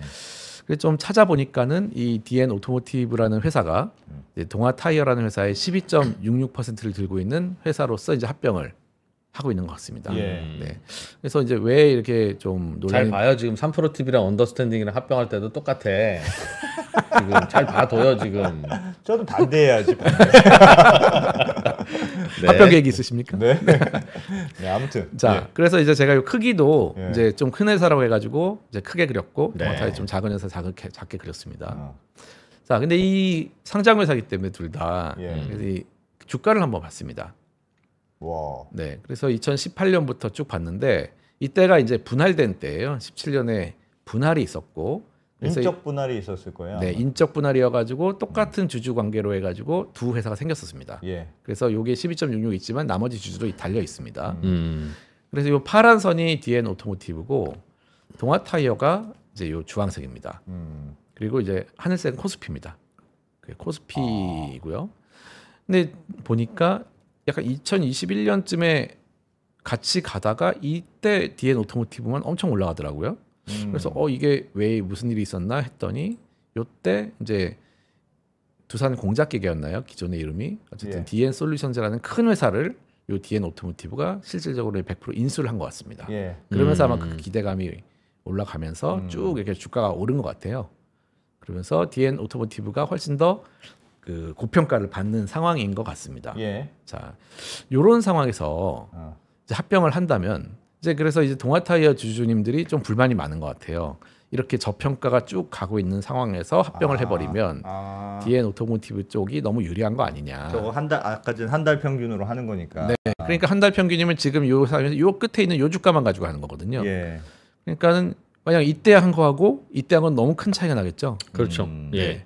그래서 이 모 회사가 굉장히 유리한 합병이라고 지금 논란이 되고 있는 것 같습니다. 아, 동아 타이어 주주들이 반대한 이좀 불리한 합병이 되는 거 아니냐? 네네. 그리고 뭐이 이 동아 타이어에는 뭐 현금도 많은데 네. PBR 1 미만이고 순자산보다 시가가 낮아요. 음. 그러니까 이 모 회사 입장에서는 이제 흡수될 때 이 현금이 시가보다 많은 음. 현금을 가져가게 되는 상황인 것 동아타이어 같습니다. 주주들은 반, 과반이 반대했으면 안 되는 거죠.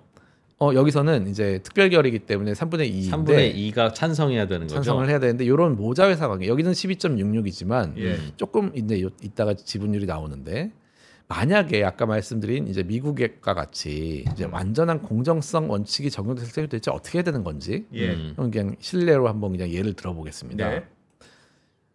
이제 협상 절차 DN 오토모티브와 동아타이어의 이사회가 음. 이제 독립적으로 협상을 했다는 거를 동아타이어 이사가 증명을 해야 됩니다. 아, 예. 그거 네, 아무리 되고. 모 회사이지만 우리가 다 독립적으로 음, 했다. 음. 그리고 비율도 어떤 어떤 해가지고 공정하다라는 거를 입증을 해야 됩니다. 네. 근데 우리는 이제 한 달 평균법이 있으니까 음. 뭐 그걸 갖다 대면은 많이 될 수도 있겠지만 음, 네, 미국에서 네. 안 되겠죠. 이제 음. 공정한 가격이라는 거를 입증을 해줘야 됩니다. 예.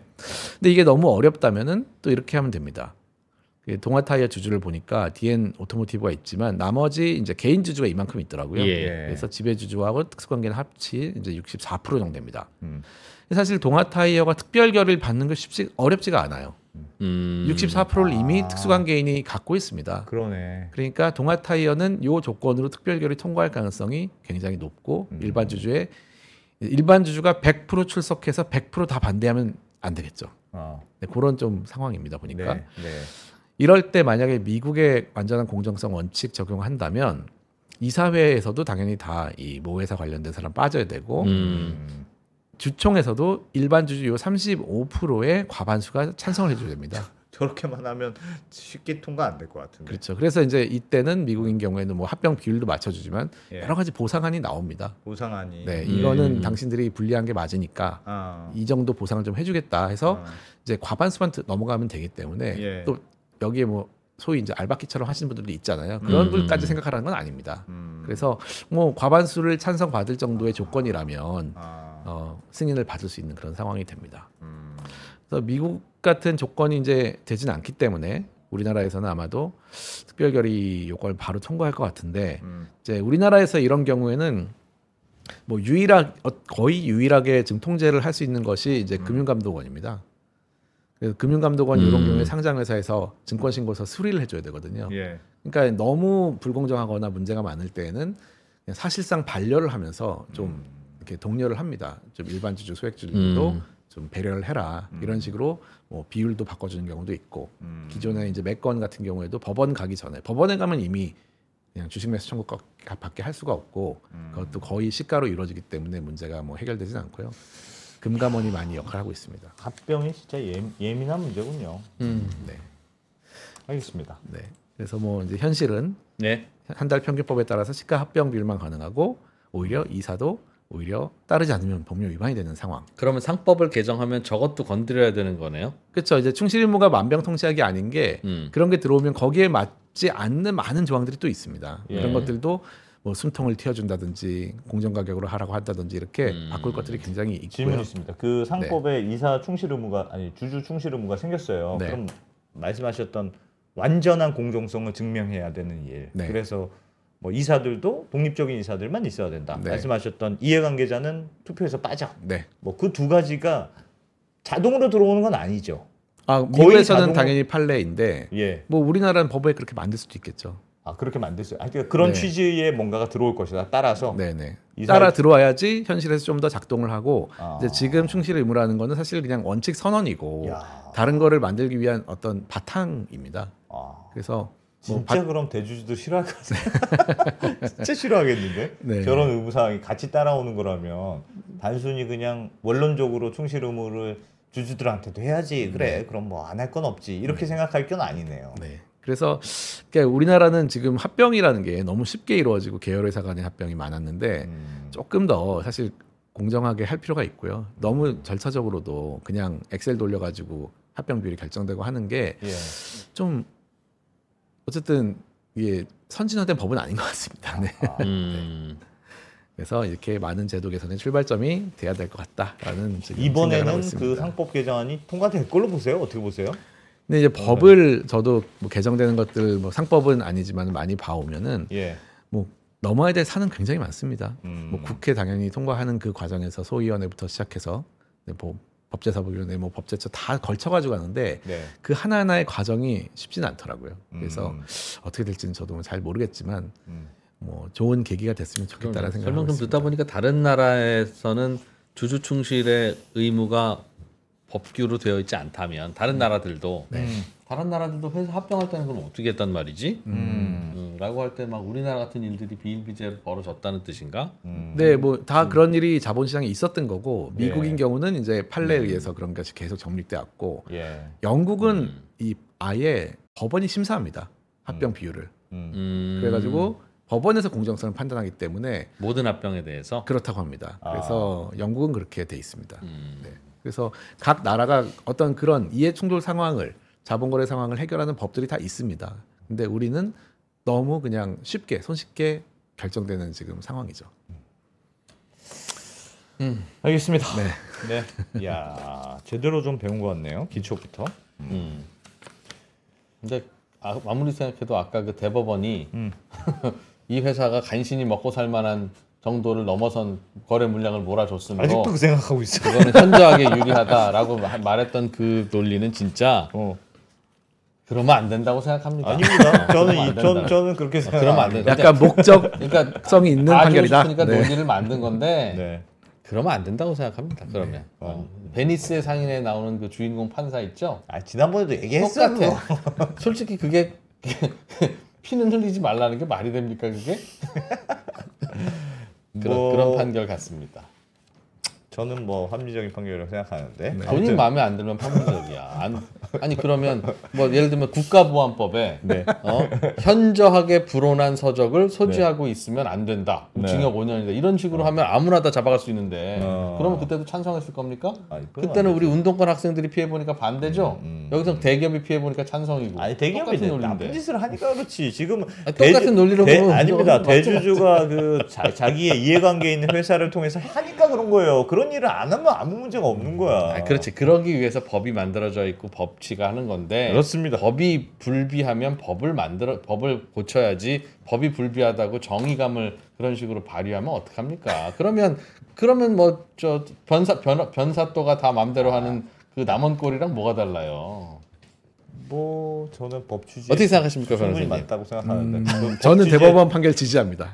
아, 정, 말 봐봐, 그거 아니, 봐. 아니, 그러니까 다 하나 볼게. 마- 심정적으로 지지하는 건 솔직히 저도 심정적으로는 지지합니다. 네네. 그거 하고 네. 아니야 논리적으로 맞아. 2% 네가 그렇게 생각하는 아니라 건 아니라니까 지금 그러니까. 진짜 지금 뭐 계속 저- 그 자꾸 착- 착각하고 있는 게 법이 어. 그렇더라도 어. 현저하게 하는 걸 그런 식으로 해석하면 어떡하냐는 건데 어.